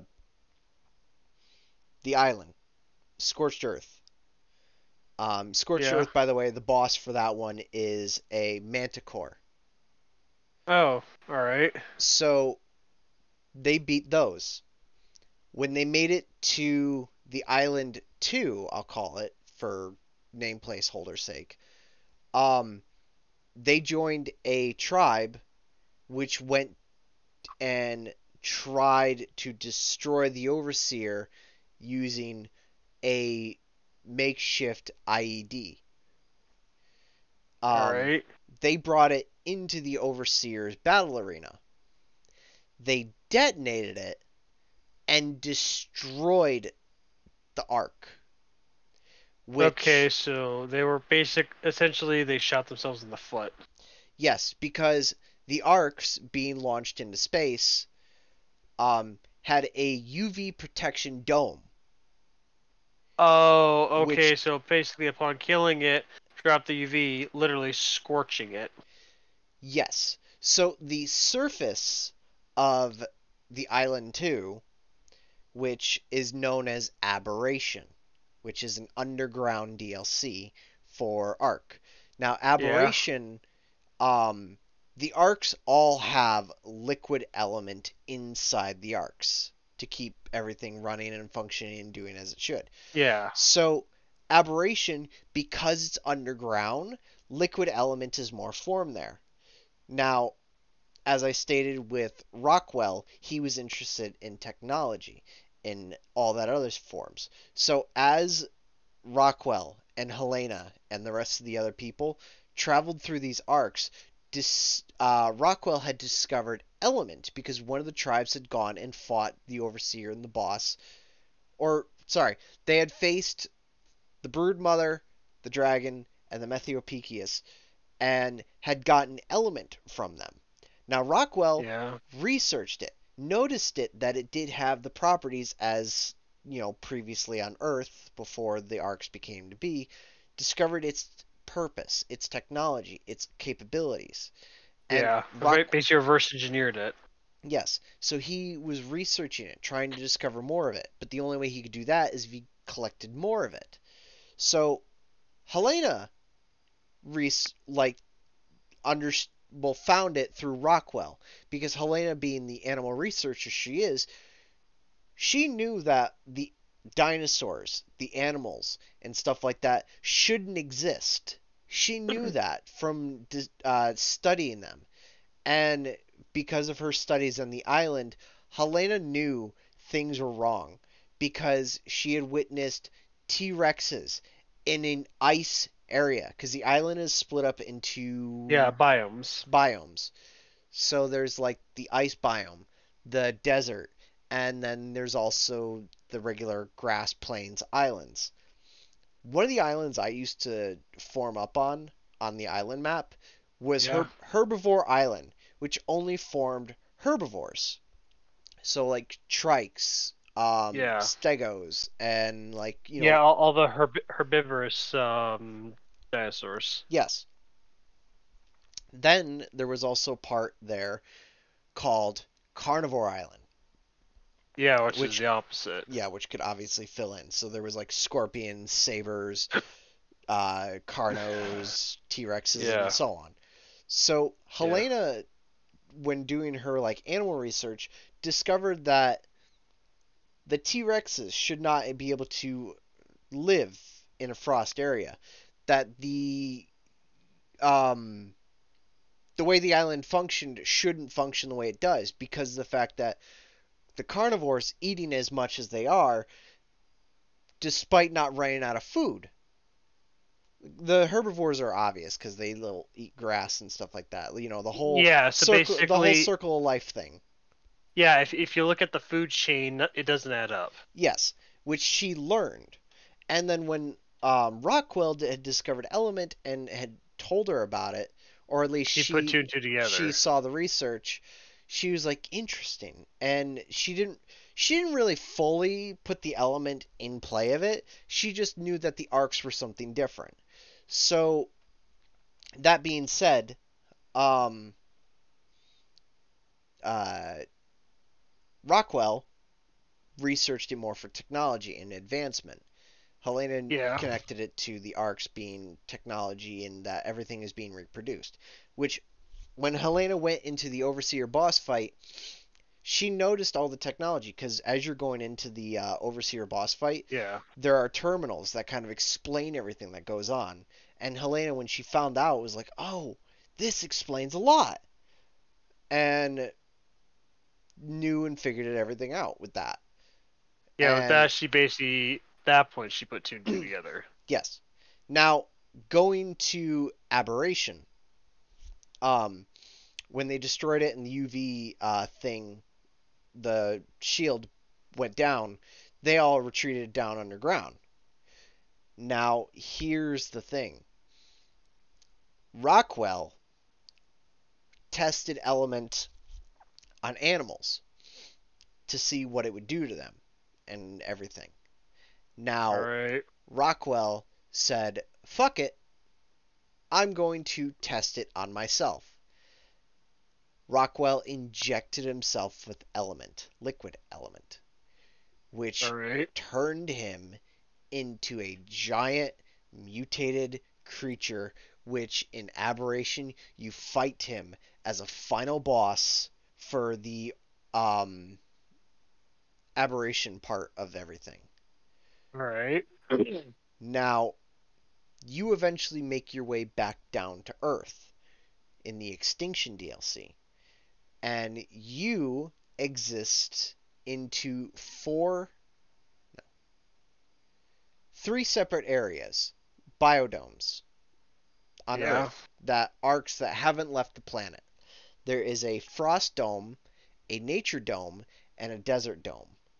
Now, you can leave these sanctuary domes, but the thing is, you are going into unhabitable um, planet side. Yeah. Yeah, basically you going out into essentially Earth from WALL-E. Yes, but worse. Really, really worse. But what's funny is that you are at ground zero, the last city where everything was developed. Okay, yeah, so basically, uh, uh, essentially the, in Destiny terms, the Golden Age Ground Zero. Exactly. Now, here is where you find corrupted creatures, corrupted animals, and even some actually animals that still are not um, part of any biological things. They were manifested and mutated from it. So, Yeah. some of the animals are actually born here. So basically, what you're saying is these creatures are essentially radiation-induced evolutionary runoff. Exactly. So, um, there is elements and uh, supply drops from the arcs to the last Yeah. city. Um, but basically, so, um, due to the war, there is something that was created from it called the King Kaiju. Okay. Um, which the King Kaiju is part of the final boss. Well, actually, is the final boss. But there's like different levels of the King Kaiju. There is the normal King Kaiju, the mid corruption King Kaiju, and then the completely corrupted King Kaiju. Now, All right. in lore, um, Helena had ascended and fought King Kaiju, which in lore she used something called a MOV or MO something. I can't remember. I think it's an MOA. Yeah. But um, it's basically essentially a giant mech and fought Okay. King Kaiju. Now, she ascended to Homo Deus, which is basically godhood Yeah. in our layman terms. Now, when you, as a player, beat the King Kaiju, you ascend yourself. But you also activate the recall program. Essentially, meaning that you summon all the arks back down planet side. And when the arks So- return to the planet, they re-terraform the planet. So basically, similar to like it, like at the end of WALL-E, Yes. Except instead of starting on the ship and bring that ship back, it started on Earth, bringing every ship back. Yes. So essentially, when the arks return to Earth, Yeah, they Um, basically terraformed the planet using the bio, uh, the terrariums that they've generated over the years. yes. Also, at the same time, when the terrariums return and they reform the planet, it also purges element from the world. So right. essentially, it all element that exists on the planet becomes purged and no longer it basically disintegrates and Yeah. gets rid of it. Now that's the arks, the t- biodomes. Now going to the colony ship, which is done by the second company. Now because Rockwell existed in a sense of uh, biological and system systemly, he was uploaded basically to the network. Okay, yeah, so essentially his consciousness uploaded. Yes. And because the consciousness being uploaded to the arks, they're constantly uploaded. So in other words, Rockwell becoming corrupted with element, his now mental state has also been corrupted in the system files. Okay, so basically, he's essentially um, he's essentially a, a general hive mind which has been corrupted. Correct. Now, which leads us into the colony ship. Since the colony ship is connected to the Ark and Earth, um, essentially Rockwell discovers the colony ship. Now, the colony ship um, is what survived. So, in other words, it is the original human race that survived and is on the Ark. Yeah, so essentially what uh, what the ship was in WALL-E. Yes. Now, the colony ship is meant to find a brand new Earth, a new inhabitable planet. Yeah. Now, where essentially WALL-E's uh, ship case was meant to just kind of fly around in space until Earth is clean. Yeah, Now- which is recolonized, whereas that thing is basically set to terraform another planet. Yes. Now, the ship is again run on element, built by element. Rockwell, being the way he is, and uploaded to the system, all these humans are in cryosleep. So, Genesis Part 1, you're basically playing in a simulation. Now, Helena and Rockwell know that they're both in the system. Helena knows Rockwell's in the system, and Rockwell knows Helena's in the system. So Helena is trying to purge Rockwell from the system, whereas Rockwell is trying to continue to corrupt the system. Now, Rockwell being uploaded into the network, and so is Helena, Rockwell is creating elemented, corrupted survivors. So Rockwell essentially is turning all the survivors on the colony ship into corrupted, mindless minions. Now, at the same time as him doing that, he is also experimenting on the creatures that are on the arks. Now, Helena, being the way she is, um, segregated Rockwell on the colony ship. So essentially quarantined him. Yes. He is quarantined to one half of the ship, and Helena is protecting the other half. Now, the simulation for Ark Genesis Part 1, you are essentially trying to beat the trials, survive, evolve um, in Genesis Part 1. You are given a tech suit, or, no, sorry, that that's part 2. So, part 1, you're um, essentially in simulation for four different biomes. There is the desert, ocean, lava, and bog. You are to survive and do all the trials that are being put in front of you. Now, once you've completed all the trials, um, you essentially do the final trial, which throws you into the system to face the digitized Rockwell. Now, when you face the digitized Rockwell, you are basically trying to purge him from the system, which partial works. Rockwell has basically created himself a second body, a corrupted body in in the colony ship.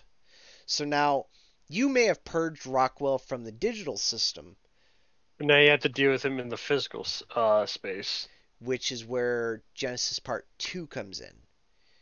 You are now released from your cryostasis and you are now trying to survive on the uncorrupted side of the ark or Okay. the colony ship. All right, before you continue, could you actually have a quick look at what I've got here just to get your thoughts? Yeah, sure. Uh,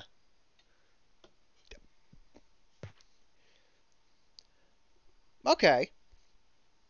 Yeah, you kind of see what I was going for with this? Yes.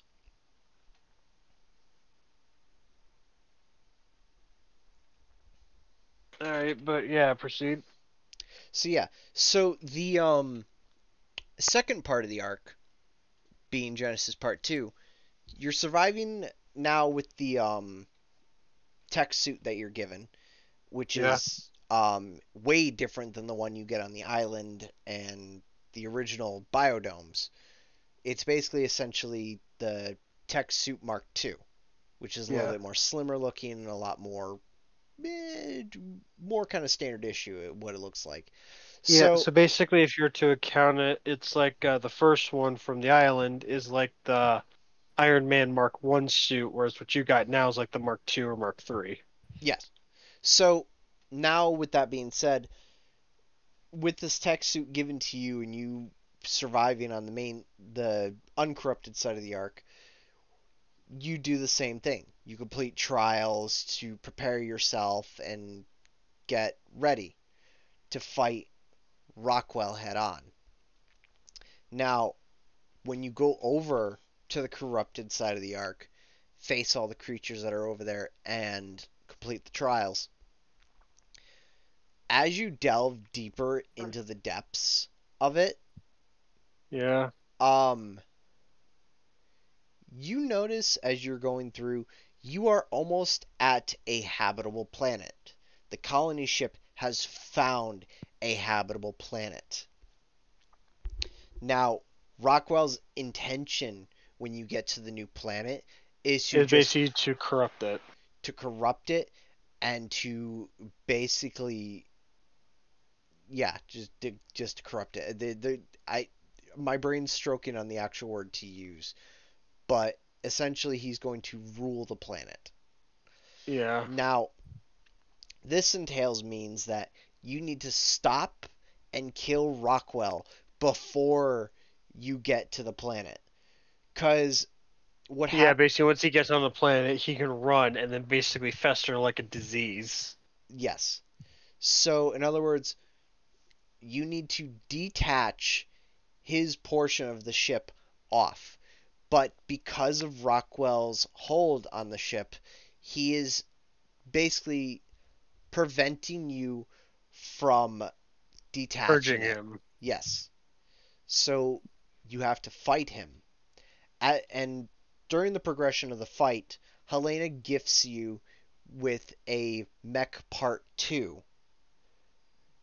So you use this mech to clear out Rockwell's corruption, to clear out his biological uh, tentacles and all his disease. Yeah. Now,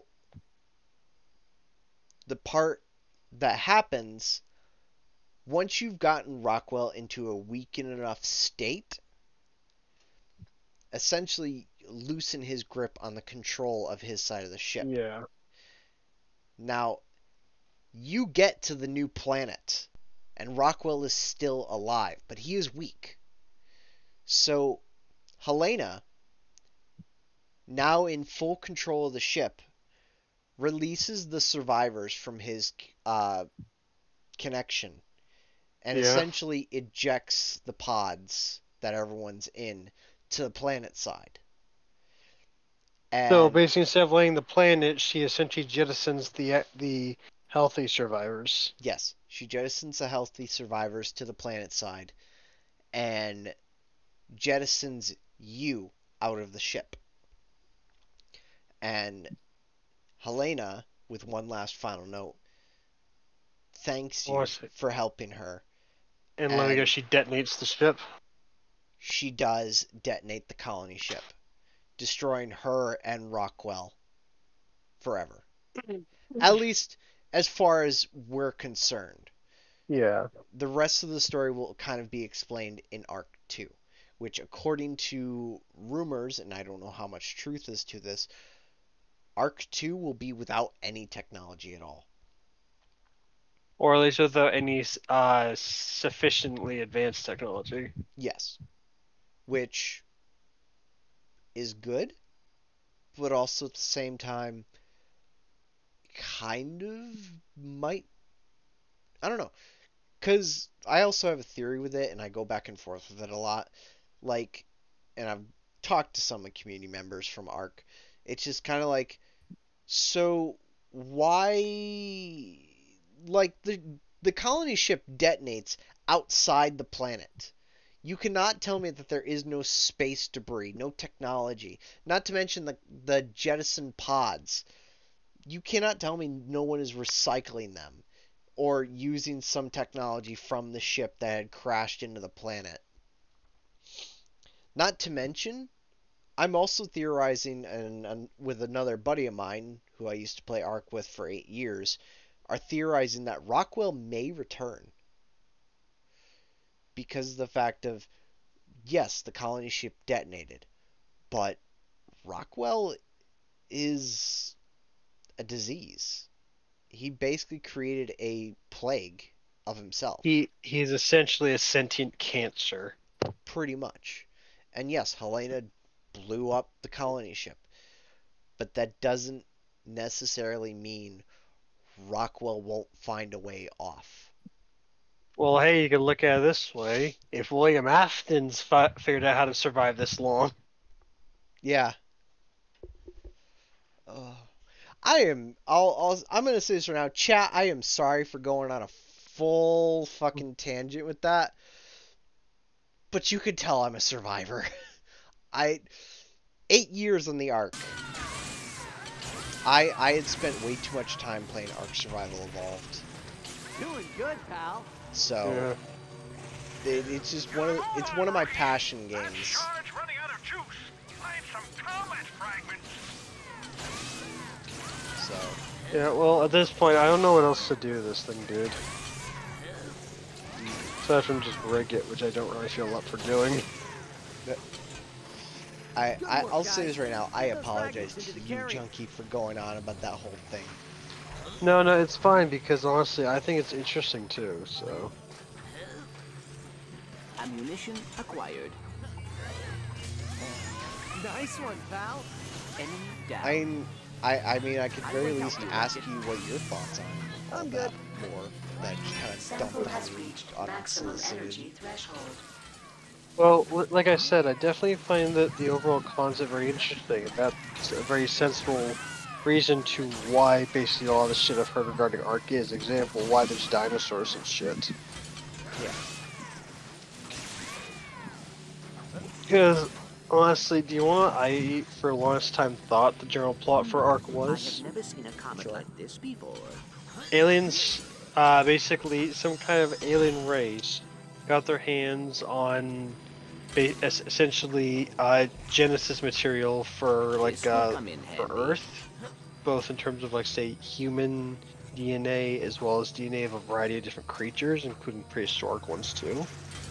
And we're just kind of like, huh, let's see how they interact in this regards, and then basically generated the entire biosphere and biodome and shit like this, just to essentially see what humans, uh, what humanity could do in this situation. Now I'll say this: I thought the same thing when originally playing Ark, and it was literally only the island aberration and um, Sample has reached maximum energy threshold. you know all that. But when they dropped Extinction and then Genesis, they kind of um, wrote their Their lore out a little bit more specifically. Like originally, it was just kind of a yeah, this is kind of thrown together, and it was still kind of alpha days. But then they did start to add a little bit more in depth to it. So they kind of explained a lot that was One down. part of the story. Yeah. It's working. But uh, just to uh, go back to things, at this point, as I said, I don't really know what I can do, so I'm Yeah, I'm kind of getting just basically tired of things, so I'm thinking I might call my stream here. So. All right. I think what Yeah, but the end up fact that I've been going for like almost three hours now, so. Alright, well, with that. I'm almost at three hours too. How Yeah, convenient. well, with that, I am going to call my stream. It may not have been much in regards to actually working in Blender, but hey, this is an experiment that seemed to actually work out pretty well in my favor. Yeah. Just now, the 'Cause- next time we go and do this, um, Yeah, to I think the more main of an idea to what. Yeah, to work on. exactly. Yeah, I think the main thing that I'll do come next time I stream, which I think I'm gonna make at the same time, just so that we can do this again. But I'm gonna try and work out a much more clearer idea about what the fuck I want to make. Yeah. Yeah, especially as we get closer to October, that'll definitely help because it'll basically have um More holiday. Yeah, exactly. I believe we are all clear. So yeah, I guess with that, I will be ending my stream. Is Frosted live right now? Uh, let's see. They are actually. They're playing Demonologist. So I would say raid Frosted, uh, and I will be raiding them right afterwards. Your VTuber looking blind as fuck. You need blind as fuck. Enemy defeated. Yeah, I'm kind of curious what the fuck you mean by that too, game. At 75%. Think I'm the one who worked on it. Yeah, which I don't know when you want to work on this model a little bit more. So that's up. You just let me know when. 'Cause there are more things I want to add to it, but I want to. Yeah, I, I know. It's just I've also had a lot on my plate lately. So. I know, and that's why I'm like also not bugging you as much because I know you Yeah. have a lot on your plate, especially with what happened with your grandmother and Yeah. And not to mention you other got your girlfriend now, so it's like Yeah. And the fact that I I basically been spending giving my time on working on shit for her, so oh, you got something in the works for her. I yes, in fact, I actually do. It's basically me just doing it for her because I want to. So Hey, you know what? That works. Yeah. Also, remind me, how do I do a raid again? Don't I just do like slash raid and then the person's Slash name? raid space, and then you do their name. Okay, let's see if I spelled that correctly. Actually, because I have a checkpoint now, I'm actually going to call the stream here. I spent a whole 40 minutes or 30 minutes explaining Ark lore, so this is going to make for great VOD for YouTube. Ladies and gentlemen, uh, with Junkie, I'm also going to be rating Frosted alongside him. So as he's rating Frosted, Yeah, I, but apparently I'm not signed into it, so that's something you gotta deal with quickly. You- what? Yeah, for some reason, like like I went to raid him, but they had to give me a prompt to uh, basically uh, sign into my uh, Twitch or log in my Twitch. You know you could do it on your Streamlabs, right? Yeah, but I thought I already was on my Streamlabs. That's the thing. Well, actually, according to my Streamlabs, I'm already logged in. What the fuck? Well, For my end. Uh, L- yeah, there it is. Ladies and gentlemen, I'm going to be sending you guys over to Frosted Freaks. And ladies and gentlemen on Junkie Stream, as soon as you can figure out how to do it, we'll be sending you guys off. So for my end, ladies and gentlemen, have a wonderful night, and I shall see you all tomorrow for Baldur's Gate 3. uh, possibly. Yeah. So. Because since it all hinges on me, and I got no idea what the fuck I'm gonna be dealing with tomorrow. Yeah. So, have a good night, everyone. Bye bye!